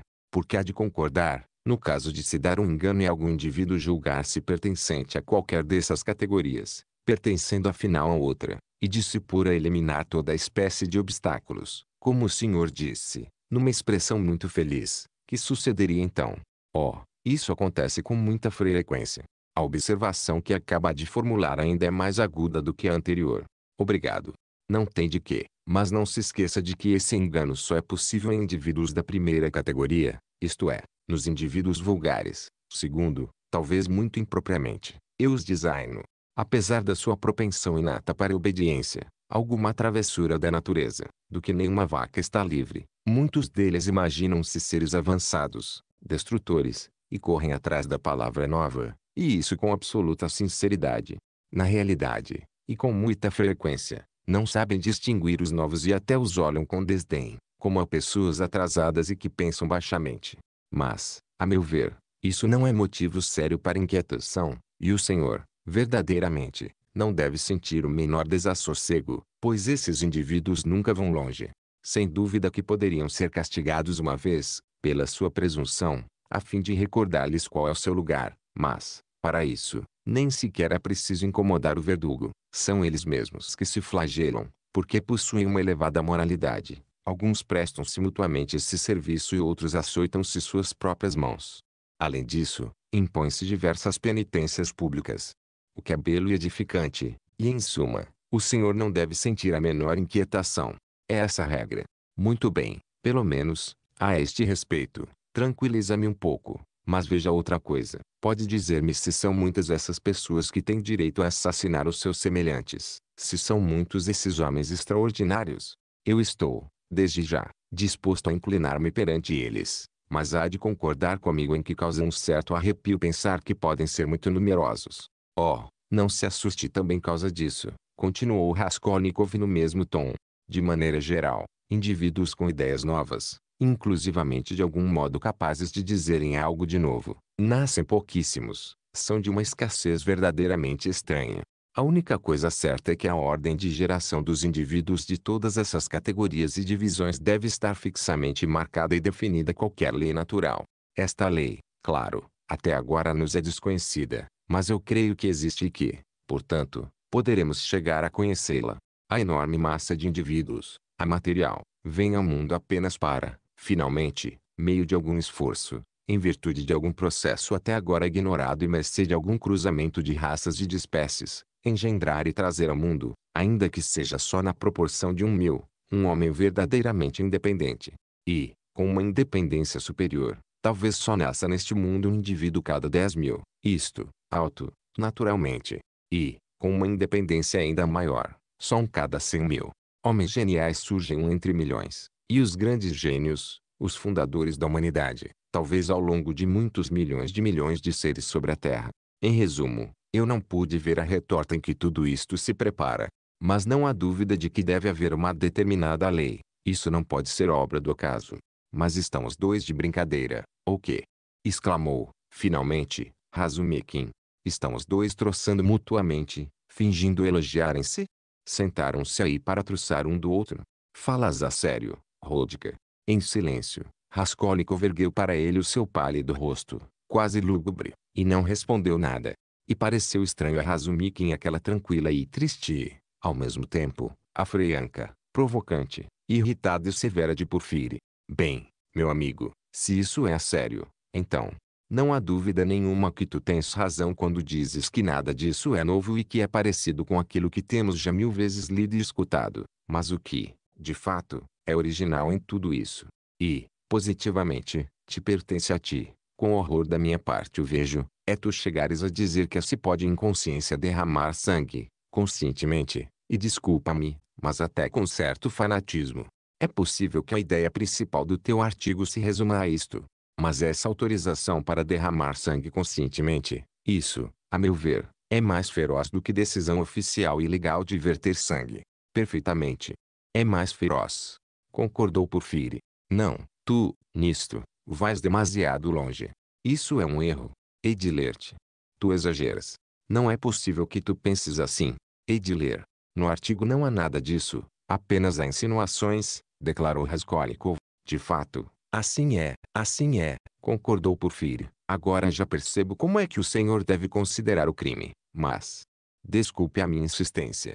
Estou a incomodá-lo muito e já tenho remorsos, mas veja uma coisa. Há pouco tranquilizou-me a respeito dos casos errôneos de confusão entre as duas categorias, mas agora tornam a inquietar-me alguns casos concretos. Se um dia, a um homem já feito e refeito, ou a um rapaz, lhes desse para se julgarem um licurgo ou um Maomé, futuro, naturalmente, e começassem a eliminar todos os obstáculos que se lhes atravessassem, que diabo, tenho de fazer uma grande viagem e, para uma viagem destas, é preciso dinheiro. Bom, e começasse a fornecer-se para a viagem. Compreende? De súbito, Zamiotov espirrou, no seu canto. Raskolnikov nem sequer ergueu os olhos para ele. Não tenho outro remédio senão concordar que, de fato, respondeu muito tranquilo, se hão de dar casos desses. Especialmente os imbecis e os vaidosos costumam incorrer nesses erros, sobretudo jovens. Ora, já vê. E então? Mas, ainda que seja assim, disse Raskolnikov sorrindo, a culpa não é minha. É assim e sempre há de ser assim. Aí está aquele, e apontou Razumikin, que acaba de dizer que eu autorizo a efusão de sangue. E então, para isso está a sociedade de bem defendida mediante as deportações, as prisões, os juízes, os presídios. Para que hão de afligir-se? É correrem atrás do ladrão. Bem, isso apanhamos. É porque o merece. Ao menos, o senhor é lógico. Mas e quanto à sua consciência? Que lhe interessa isso? Sim, interessa a humanidade. Quem a tem sofrer ao reconhecer o seu erro. É essa sua expiação. Sem contar com o presídio. Seja, quanto aos verdadeiramente geniais, exclamou Razumikin franzindo o sombrolho. Mas aqueles aos quais se concede o direito de assassinar não deverão sofrer, de maneira nenhuma, inclusivamente causa do sangue derramado? A que propósito vem isso de deverão? Neste campo não há permissão nem proibição. Sofrerão, se sentirem piedade pela vítima, o sofrimento e a dor são inerentes a uma ampla consciência e um coração profundo. Em minha opinião, os homens verdadeiramente grandes devem padecer neste mundo uma grande dor, acrescentou, de repente, pensativo, quase num tom diferente do diálogo. Ergueu os olhos, olhou para todos com ar meditabundo, sorriu e pegou no seu gorro. Sentia-se muito tranquilo, em comparação com o que estava há pouco, quando entrou, e não escondia. Todos se levantaram. Bem, quer me censure ou não, se aborreça ou não comigo, o certo é que eu não posso conter-me, declarou novamente Porfiri Petrovitch. Dê-me licença que lhe faça ainda uma pergunta. Já o incomodei tanto, uma única pequena pergunta, só para não esquecer. Traço bom, diga-me do que se trata. E Raskolnikov, sério e pálido, parou diante dele, na expectativa. Pois fique sabendo. Na verdade não sei como hei de exprimir-me menos desajeitadamente. Trata-se de uma ideia demasiado chistosa. Psicológica. Pronto, vou dizer-lhe, quando o senhor escreveu esse artigo. Com certeza que, e, e, e, se considerava a si mesmo. Ainda que fosse só um pouquinho. Um desses seres extraordinários e que dizem uma palavra nova. Quero dizer, no sentido que o Senhor dá a esta frase. Não é verdade? É muito provável que assim fosse, respondeu depreciativamente Raskolnikov. Razumikin fez um gesto. Sendo assim, então, é porque o Senhor também se julga com direito. No caso de contratempo e dificuldades na vida ou para acelerar o progresso da humanidade. A saltar cima de todos os obstáculos. Como, exemplo, a matar e a roubar. E, de repente, tornou a piscar-lhe o olho esquerdo e a rir-se de uma maneira imperceptível, exatamente como há um momento. Se eu saltasse cima dos obstáculos, com certeza que não lhe diria, respondeu Raskolnikov com desdém, provocante e ativo. É claro que não. Eu apenas lhe perguntei com o objetivo de compreender melhor o seu artigo, num sentido pura e exclusivamente literário. Oh, que palpável e claro é tudo isto, pensou Raskolnikov com repugnância. Dê-me licença de esclarecer, replicou secamente, que eu não me tenho nenhum Momé nem Napoleão. Nem nenhuma dessas personagens, e isso não podia, não sendo nenhuma delas, dar-lhe uma explicação satisfatória da maneira como me conduziria. Ora, quem é que agora, entre nós, aqui, na Rússia, não se tem um Napoleão? Disse Porfírio com uma terrível familiaridade, até na entonação da sua voz havia, dessa vez, qualquer coisa de especialmente claro. Não terá sido algum futuro Napoleão que, na semana passada, matou a nossa Leon Ivanov na machadada. Lançou, inesperadamente, Zamiotov do seu canto. Raskolnikov ficou calado e fixou um olhar atento, firme, em Porfiri. Razumikin franziu lugubremente as sobrancelhas. Havia já um momento que começava a suspeitar de qualquer coisa. Olhou, amuado, à sua volta. Decorreu um minuto de desconfiado silêncio. Raskolnikov deu meia volta para retirar-se. Já se vai embora? Perguntou afetuosamente Porfírio, estendendo-lhe a mão com extraordinária amabilidade. Estou muito contente, muito contente, tê-lo conhecido. E, quanto ao seu pedido, não se preocupe, mas escreva da maneira que lhe indiquei. E o melhor será vir pessoalmente entregar-me a petição. Um dia destes. Pode ser amanhã mesmo. Eu estarei aqui, sem falta, aí pelas onze. E trataremos de tudo. O senhor, como um dos que ultimamente estiveram lá, talvez pudesse dizer-nos qualquer coisa. Acrescentou com um ar muito bonacheirão. Deseja interrogar-me oficialmente, com todas as formalidades de praxe? Perguntou-lhe Raskolnikov com rudeza. Para quê? Até agora não tem sido preciso. O senhor não compreendeu bem. Eu, olhe, não quero perder a ocasião é. E já falei com todos os clientes, de alguns dos quais obtive indicações. E o senhor, como é o último? Olhe a propósito, exclamou, subitamente alvoroçado qualquer coisa. A propósito, agora me lembro de uma coisa, veja como eu sou, disse, voltando-se para Razumikin. Tu, ontem, atroaste meus ouvidos causa dessa nicolástica. Bem, pois eu também sei, estou informado, disse, encarando Raskolnikov, que o pobre rapaz está inocente, mas que se há de fazer? Também foi preciso meter um susto à mítica. Tudo se reduz a isto. Quando subi a escada naquele momento, Deixe-me fazer-lhe uma pergunta. Esteve ali às oito? Às oito, respondeu Raskolnikov sentindo desagradavelmente nesse mesmo instante que podia não ter dito isso. E, quando subiu a escada, às oito, não viu no segundo andar, naquele que está aberto, lembra-se? Uns operários ou, ao menos, um deles, estavam pintando, não reparou? Isto é muito importante para eles, importantíssimo. Pintor de paredes. Não, não seja nenhum respondeu Raskolnikov lentamente, e como se fizesse esforço para se lembrar, enquanto todo o seu ser ficava numa tensão e palpitava na ânsia de descobrir o mais depressa possível que é que se resumia a armadilha e não cair nela. Não, não o sei, nem também reparei que houvesse algum andar aberto. Mas olhe, no quarto andar, já tinha percebido qual era a armadilha e rejubilava com o seu triunfo. Lembro-me bem de que um funcionário saiu do quarto. Frei Onteiro ou de Elione Ivanovna. Estou a lembrar-me. Estou a lembrar-me muito bem. Uns soldados transportavam um divã e obrigaram-me a encostar-me à parede. Mas, pintores, não me lembro de ter visto nenhuns. Não, nem também havia aí qualquer andar aberto, que eu me lembre. Não, não havia. Mas que dizes tu? Exclamou de repente Razumikin, como se puxasse pela memória e reconsiderasse. Se os pintores estiveram trabalhando lá no dia do crime ele estivera três dias antes. Que lhe perguntas isso? Ah, fiz confusão disse Porfiri dando uma palmada na testa. Raios me partam. Ainda hei de acabar louco causa deste processo, exclamou, dirigindo-se a Raskolnikov com ar de desculpa. É que, repare, seria tão importante para mim comprovar se alguém os viu às oito no andar, que me lembrei de pensar se o senhor não poderia dizer-me qualquer coisa a esse respeito. Mas que grande confusão. É preciso ter mais atenção, observou Razumikin, mal-humorado. As últimas palavras foram já ditas no vestíbulo. Porfiri Petrovitch acompanhou-os a ambos mesmo até a porta, com muita amabilidade. Saíram os dois, amuados e desgostosos, e durante algum tempo não disseram uma palavra. Raskolnikov lançou um profundo suspiro. Capítulo 6 Não acredito. Não posso acreditar, repetia Razumikin, preocupado, esforçando-se com toda a energia a refutar os argumentos de Raskolnikov. Iam chegando à pensão de Bacalier, onde estavam instaladas Pulquier e Alexandrovna e Dunia. Havia já bastante tempo que os esperavam. Razumikin parava a cada momento durante o caminho. No calor da discussão, perturbado e comovido pelo fato de ser a primeira vez que ambos falavam daquilo com toda a clareza. Pois não acreditas, acrescentou Raskolnikov com um sorrisinho freio e indiferente.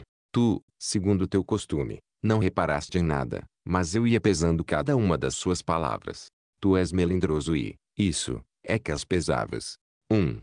De fato, concordo que o tom de Porfiri era bastante estranho e, sobretudo, esse pulha de Zamiotov, tens razão, parecia que havia um subentendido. Mas que, que, devia ter passado a noite pensando nisso.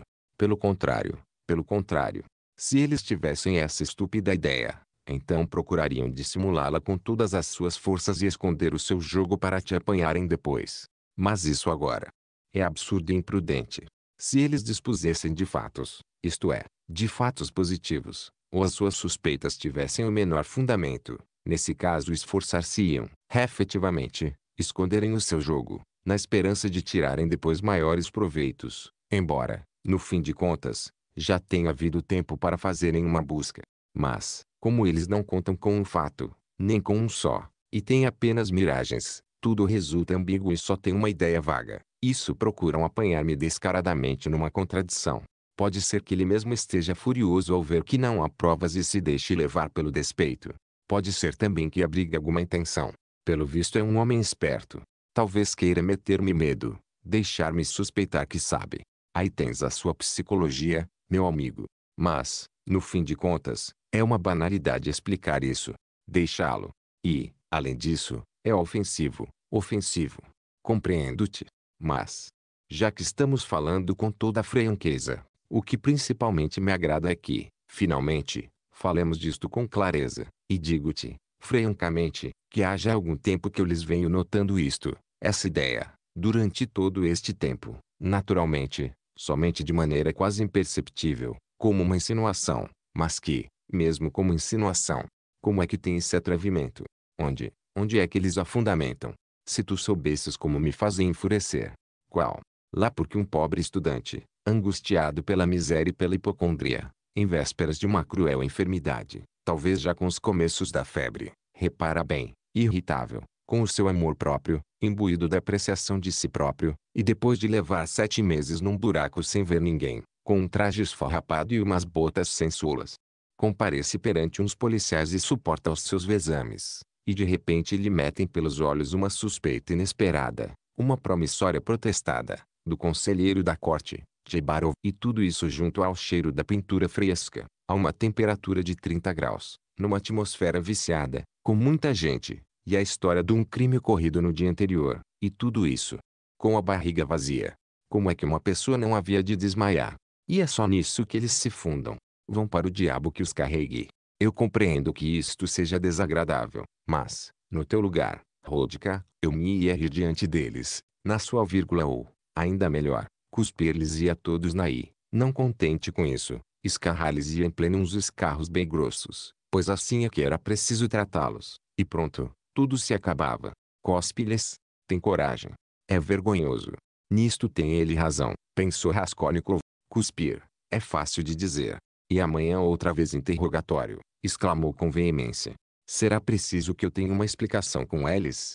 Já me custa ter me rebaixado perante Zamiotov na outra noite, na taberna. Ponto de exclamação o diabo que os carregue. Irei eu mesmo procurar por Fire. Falar-lhe como a um parente. Não te preocupes, ficarei sabendo tudo, tudo. Quanto a Zamiotov, até que enfim adivinhou, pensou Raskolnikov. Espera, exclamou Razumikin, segurando-o de repente o ombro. Para. Tu estás delirando. Já reconsiderarei, tu deliras. Ora vejamos, onde é que está essa armadilha? Tu dizes que a pergunta a respeito dos trabalhadores era uma armadilha. Pensa, se tu tivesses feito aquilo, iria dizer que tinhas visto que estavam pintando andar. E os pintores?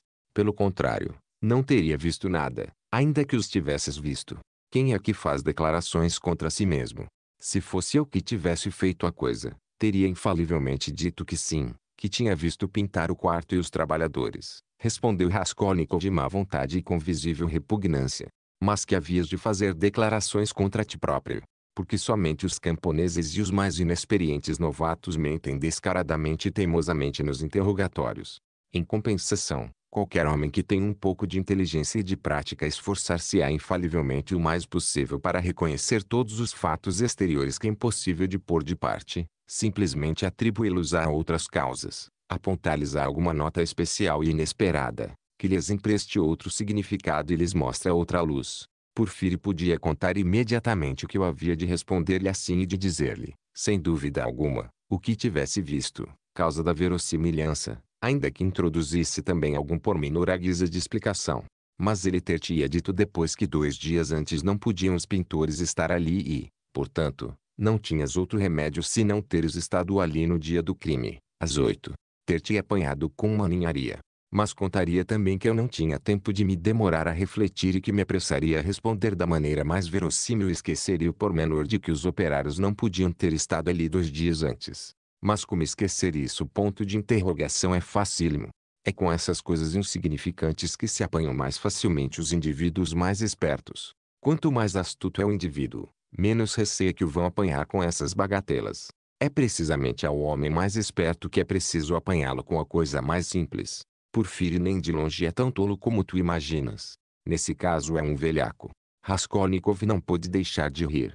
Nesse momento pareceram-lhe estranhos o deleite e o gosto com que expusera a explicação anterior, tanto mais que tinha vindo a conduzir o diálogo até ali com notória aversão, somente em atenção ao fim proposto, ser indispensável. Irei eu tomar gosto estas questões? Disse para consigo. Mas quase nesse mesmo momento sentiu-se assaltado súbita inquietação pois lhe ocorrera uma ideia inesperada e assustadora. E a sua inquietação crescia cada vez mais. Estavam quase à entrada da pensão Bakaliev. Entra tu sozinho, disse ele. De repente, Raskolnikov, eu já venho. Mas aonde vais? Se cá estamos já. Não tenho outro remédio. Não tenho outro remédio. É um assunto. Dentro de meia hora estarei de volta. Dize isso a elas. Faze como quiseres, mas eu vou atrás de ti. Mas que te empenhas em me mortificar exclamou ele com amarga irritação, com tal desolação no olhar que Razumikin deixou cair os braços. Permaneceu ainda uns momentos entrado e viu tristemente como o outro se dirigia rapidamente para sua ruela. Fim, rangendo os dentes e cerrando os punhos, jurando a si próprio que nesse mesmo dia havia de espremer Porfírio como um limão. Subiu até o quarto para tranquilizar Pulquiera Alexandrovna, que já estava assustada com a sua longa ausência. Quando chegou a casa, Raskolnikov levava as fontes banhadas em suor e respirava com dificuldade. Subiu as escadas a toda pressa, entrou no quarto, que estava aberto, e correu imediatamente o fecho. Depois, assustado e como louco, foi direto a um canto, aquele buraco embaixo do papel da parede, onde guardara os objetos. Meteu nele a mão e ficou um momento explorando minuciosamente, sondando todas as fendas e todos os refegos do papel. Como não encontrou nada, levantou-se e lançou um fundo suspiro. Quando, havia um momento, chegar ao pátio de Bacalhau, ocorreu-lhe de repente que algum objeto, alguma pequena corrente, algum botão ou até o papel em que tinham estado embrulhados com a correspondente nota, do punho e letra da velha, podia ter resvalado e ficado no fundo de alguma greta, e depois surgir diante dele como prova inesperada e irrefutável. Estava como que afundado numa meditação, e um sorriso estranho, humilde e quase inconsciente vagueava sobre os seus lábios. As ideias confundiam-se-lhe. Meditabundo, atravessou a porta da rua. Olhem, aqui está, gritou uma voz forte. Ele ergueu a cabeça. O porteiro estava parado diante do seu cubículo e apontava francamente para um indivíduo, que lhe era desconhecido, baixinho, com uma de operário, que vestia uma espécie de bata, com colete, e que, de longe, se parecia muito com uma mulher. A cabeça, coberta um gorro sebento, pendia-lhe para baixo, e todo ele parecia corcovado. A sua decrépita, enrugada, indicava mais de 50 anos, os olhos pequeninos, encovados tinham um vislumbre agastado, severo e descontente. Que há? Perguntou Raskolnikov aproximando-se do porteiro. O operário olhou de soslaio e ficou a mirá-lo de alto a baixo, sem pressa. Depois do que deu meia volta e devagarinho, sem proferir uma palavra, saiu do pátio da casa para a rua. Mas de que se tratava? Perguntou Raskolnikov. É que esse indivíduo veio perguntar se morava aqui um estudante com seu nome e apelido, e com quem vivia. Foi nesse momento que o senhor apareceu. Eu lhe indiquei, e ele se foi. Mais nada. O porteiro estava também um pouco hesitante, embora sua perplexidade tenha durado pouco, porque, depois de ter pensado no que aconteceu mais uns momentos, deu meia volta e entrou outra vez no seu tugúrio. Raskolnikov pôs-se a andar atrás do operário e viu imediatamente que ele atravessava para o outro passeio, com o mesmo andar compassado e lento de antes, os olhos fixos no chão e como se pensasse em qualquer coisa. Não tardou a alcançá-lo, mas foi o seguindo durante algum tempo, até que, finalmente, emparelhou com ela e olhou de soslaio no rosto. O outro deu imediatamente a ele, lançou-lhe um olhar rápido, mas tornou imediatamente a fixar os olhos no chão, e assim andaram durante um minuto um ao lado do outro e sem dizerem uma palavra. O senhor perguntou-me. Ao porteiro? Disse, finalmente, Raskolnikov, mas em voz não muito alta. O homem não respondeu e nem sequer olhou para ele. Continuaram outra vez em silêncio. Com que então o senhor? Vai perguntar-me. E agora cala-se. Que significa isto?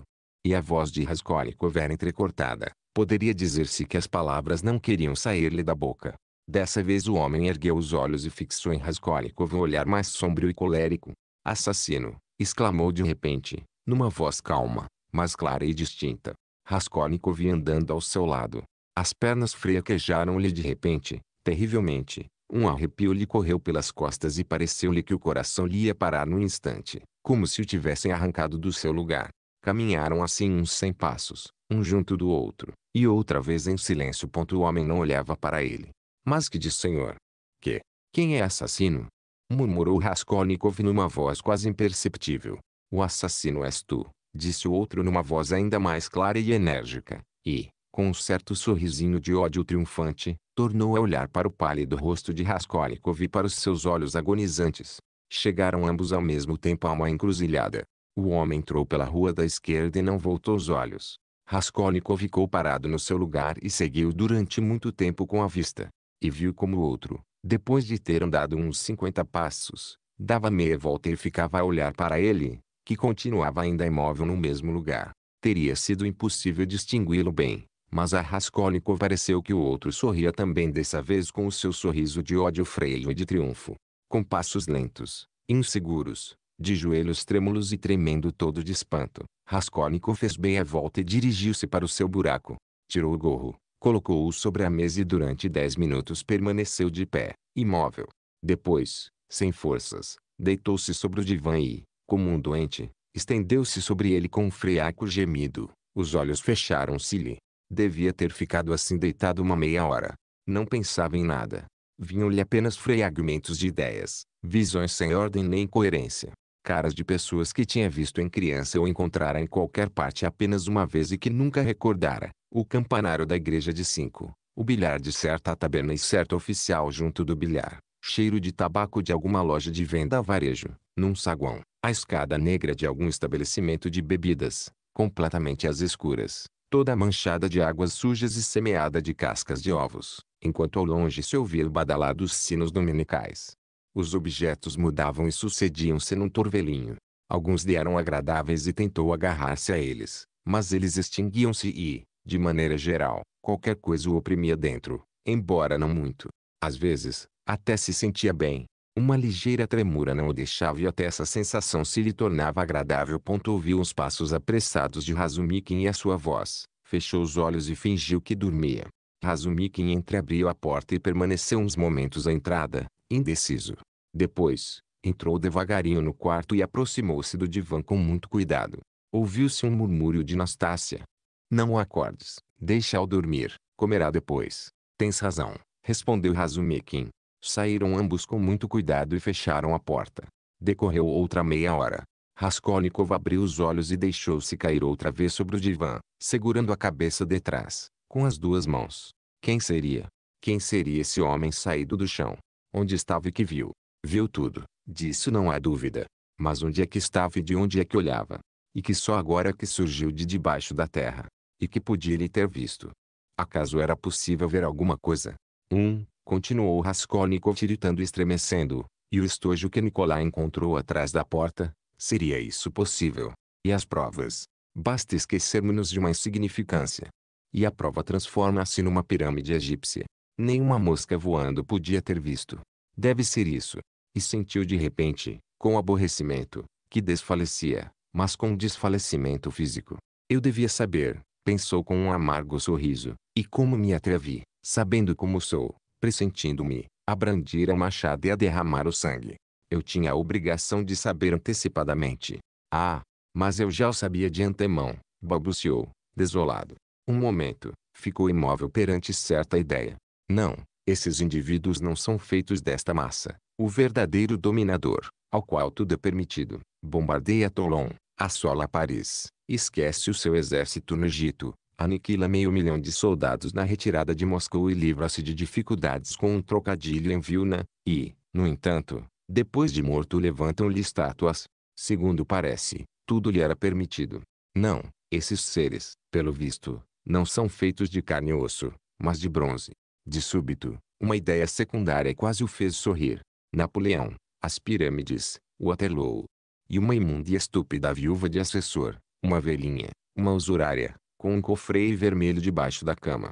Como fazer tragar isso, mesmo a um Porfiri Petrovitch? Como podia tragá-lo? Até a estética impedia. Um autêntico Napoleão ir-se ia meter debaixo da cama de uma velhota. Ora, fora daqui, por calhão. Havia momentos em que lhe parecia delirar, caía numa disposição de espírito triunfal. Isso da velha é um absurdo, pensava com veemência, de vez em quando. Isso da velha é um erro, não pode tratar-se dela. A velha estava simplesmente doente. Eu não queria mais nada senão passar o mais depressa possível cima do obstáculo. Eu não matei nenhuma pessoa humana, apenas matei um princípio. Um princípio, foi o que eu matei, mas saltar o obstáculo, não saltei, fiquei do lado de cá. Não soube fazer mais nada senão matar. E nem sequer isso soube fazer, segundo parece. Um princípio. Que aqui, há pouco, esse imbecil do Razumikin recriminava os socialistas. São pessoas que gostam do trabalho e são comerciantes. Ocupam-se da felicidade universal. Não, a mim dão-me uma só vida e não terem outra. Eu não quero esperar pela felicidade universal. Eu quero viver, eu, se não mais vale não viver. Qual? Eu não queria passar em frente de uma mãe famélica, apertando na mão o meu único rublo, à espera da felicidade universal. Acarretarei, que diabo, uma pedra para a felicidade universal, e assim gozarei a paz do coração. Ah, ah, que se esqueceram de mim. Reparem que só tenho uma vida que quero vivê-la. Ah, eu sou um piolo estético, e nada mais. Pôs-se de repente a rir comunmente. Sim, eu sou, de fato, um piolho, continuou, apoderando-se com uma alegria maliciosa dessa ideia, esquadrinhando-a, jogando e divertindo-se com ela. Em primeiro lugar, só pelo fato de estar discorrendo, agora, a propósito disso, de que era um piolho, e, em segundo, porque durante um mês inteiro andei incomodando a providência, que é infinitamente boa, tomando a testemunho de que eu não udia tramas nem planos para meu proveito. Que diabo! Mas apenas com os olhos postos num fim magnífico e simpático. Ah, ah! Além disso, em terceiro lugar, porque, com a maior justiça possível, me propus guardar uns certos limites. De todos os piolhos escolhi o menos útil, e quando matei apenas detomei exatamente aquilo de que eu precisava para dar o primeiro passo, nem mais nem menos. O resto iria parar ao mosteiro, conforme o seu testemunho. Ah, ah, ah! Depois, porque sou realmente um piolho, acrescentou, rangendo os dentes, porque talvez eu mesmo seja um piolho ainda mais repugnante e indigno do que o piolho assassinado, e já de antemão tinha o pressentimento de que havia de dizer a mim próprio tudo isto depois de ter assassinado. Mas há alguma coisa que possa comparar-se com este horror? Oh, vulgaridade! Oh, baixeza! Oh, e como eu compreendo o profeta, com a sua espada, a cavalo, é Alá que o manda, e inclinás é trêmula criatura é. Livra-te de desejar. Porque isso não é da tua conta. Oh, nada deste mundo, nada deste mundo perdoarei a velhota. Tinha os cabelos encharcados em suor, os lábios trêmulos e secos, o olhar fixo apontando para o teto. Minha mãe, minha irmã, como vos amei. Que lhes tenho ódio, agora. Sim, odeias, de um ódio físico. Não posso suportá-las ao meu lado. Há pouco me aproximei e beijei a minha mãe. Recordo-me. Abraçá-la e pensar que se ela soubesse. E se eu lhe tivesse dito tudo, nessa altura, seria muito próprio de mim. 1. Um, ela deve ser como eu, acrescentou, pensando com esforço, como se lutasse contra o delírio que se ia apoderando dele. Oh, e que ódio eu tenho agora à velhota. Creio que se ressuscitasse tornaria outra vez a matá-la. Pobre Lisavieta. Que teria ela aparecido ali. Mas é estranho que eu me lembre tão pouco dela, como se não a tivesse assassinado. Lisavieta. Sônia. Pobres, ingênuas, com os olhinhos tão doces, simpáticas, que não choram, que não se queixam, dão tudo. Olha mansa e docemente. Sônia, Sônia. Doce Sônia. Perdeu os sentidos. Pareceu-lhe estranho não compreender como é que conseguira chegar à rua. A tarde ia já avançada. As sombras adensavam-se, a lua cheia resplandecia cada vez mais radiante, mas no ambiente havia uma espécie de incandescência sufocante. As pessoas iam em grupos pelas ruas, operários e homens atarefados voltavam para suas casas, outros passeavam, tudo cheirava a cal, a pó, a água estagnada. Raskolnikov via triste, pensativo, Lembrava-se muito bem de que saíra de casa com qualquer intenção, que tinha de fazer qualquer coisa e apressar-se, simplesmente. Que se tinha esquecido. De repente parou e viu que do outro lado da rua, no passeio, estava parado um homem que fazia sinais com a mão. Dirigiu-se para ele atravessando a rua, mas, de repente, o indivíduo deu meia volta e afastou-se, como se não tivesse dado nada, de cabeça baixa, sem voltar os olhos e sem dar o menor sinal de o ter chamado. Mas vamos lá ver, o senhor não me chamou? Pensou Raskolnikov e, no entanto, lançou-se no seu encalço. Ainda não tinha dado dez passos quando, de repente, o reconheceu e ficou assustado. Era o mesmo operário de antes, com a mesma bata e a mesma corcunda. Raskolnikov seguia a distância, o coração pulsava-lhe, chegaram a uma ruela. O homem não se voltou. Pode ser que não se tenha percebido que eu vou atrás dele, pensava Raskolnikov. O homem atravessou o portão de uma grande casa. Raskolnikov apressou-se a alcançar a porta e ficou olhando. Não voltaria para olhá-lo e não o chamaria. De fato, depois de ter atravessado o portão e entrado no pátio, o homem voltou-se e pareceu outra vez chamá-lo com a mão. Raskolnikov atravessou imediatamente o portão, mas o homem já não estava no pátio. Com certeza devia ter entrado imediatamente e começado a subir o primeiro lance da escada. Raskolnikov lançou-se atrás dele. De fato, Dois lances mais acima ainda se ouviam os passos lentos, cadenciados, de alguém. Coisa estranha, parecia-lhe que conhecia aquela escada. Aquela é a janela do primeiro andar, triste e misteriosa. Filtra-se pelos vidros a luz da lua. Já estão no segundo andar. Ah, este é o mesmo andar em que trabalhavam os pintores. Como é que não o reconheceu imediatamente? Os passos do homem que iam à frente sumiram-se. Naturalmente parou ou escondeu-se em qualquer lugar. Este é o terceiro andar. Continuemos. Que silêncio. E até espantoso. Mas ele continuou andando. O ruído dos seus passos assustava-o e sobressaltava-o. Santo Deus, que escuridão. O homem escondeu-se, com certeza aí, em qualquer canto. Ah! A porta do quarto está escancarada. Refletiu um pouco e entrou. O vestíbulo estava muito escuro e deserto, nem viva alma, como se tivessem levado tudo, devagarinho, nas pontas dos pés. Entrou na sala. Todo o quarto estava iluminado pelo brilho da lua. Estava tudo como antes, as cadeiras, o espelho, o divã amarelo e os quadros nas suas molduras. Uma lua enorme, redonda, de um vermelho acobreado, espreitava diretamente pela janela. Todo este silêncio é causa da lua, pensou Raskolnikov, com certeza que ela deve estar decifrando algum enigma. Parou e esperou, esperou durante muito tempo, e quanto mais silenciosa estava a lua, com mais força lhe palpitava o coração, até o ponto de incomodá-lo. E tudo em silêncio. De repente ouviu-se um pequeno ruído seco, instantâneo, como se tivesse saltado uma estilha de lenha, e outra vez tudo voltou a ficar mergulhado em silêncio. Uma mosca desequilibrada chocou-se, de súbito, no seu voo, com espelho, e cambaleou, ferida. Nesse momento, num canto, entre o armário e a janela, distinguiu uma espécie de capa de mulher, pendurada na parede. Que fará que esta capa? Pensou. Dantes não estava aqui. Aproximou-se devagarinho e adivinhou que atrás daquela capa se escondia alguém. Cautelosamente, afastou a capa com a mão e viu que havia ali uma cadeira, e na cadeira, num cantinho, estava sentada uma velhinha, toda feita num novelo e com a cabeça baixa, de maneira que ele não podia ver-lhe a ponto e vírgula mas era a mesma. Ficou parado diante dela. Tem medo, pensou. Tirou devagarinho a machada do nó corredio e descarregou-a sobre a velha, na sombra, uma e outra vez. Mas, coisa estranha, ela nem sequer estremecia debaixo dos golpes, tal como se fosse feita de pau. Ele se assustou, agachou-se mais e pôs-se a olhar para ela, mas ela, sua vez, agachou também a cabeça. Então ele se pôs completamente de cócoras no chão, e, de baixo, olhou-a no rosto, olhou-a e ficou irto de espanto. A velha continuava sentada, e ria-se. Retorcia-se num riso abafado, inaudível, esforçando-se todos os modos que não ouvissem. De repente, pareceu-lhe que a porta do quarto se abria suavemente e que também ali dentro soavam risos e murmúrios. A raiva apoderou-se dele, pôs-se a bater na cabeça da velha com todas as forças, mas, a cada machadada, mais e mais fortes soavam os risos e os murmúrios no quarto, e a velha continuava a retorcer-se toda de riso. Deitou a correr mas o vestíbulo já estava cheio de gente. A porta do andar, aberta de par em par, e, no patamar, na escada e lá embaixo, tudo cheio de gente, cabeça contra cabeça, todos olharem, mas todos escondidos e esperando em silêncio. Sentiu o coração oprimido, os pés paralisaram-se-lhe, deitaram raízes na terra. Quis gritar. E acordou.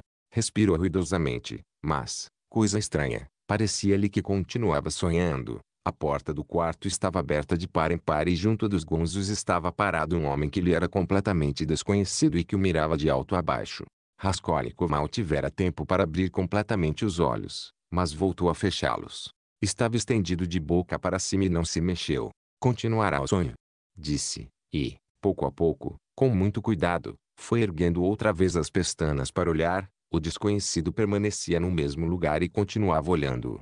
De repente, transpôs diretamente o limiar da entrada, fechou a porta atrás de si, com muito cuidado, aproximou-se da mesa, esperou um minuto sem deixar de olhá-lo todo esse tempo, e, devagarinho, sem ruído, sentou-se numa cadeira, junto do divã, pôs o chapéu de lado, no chão, e colocou as duas mãos no pomo da bengala, apoiando depois o queixo sobre as mãos.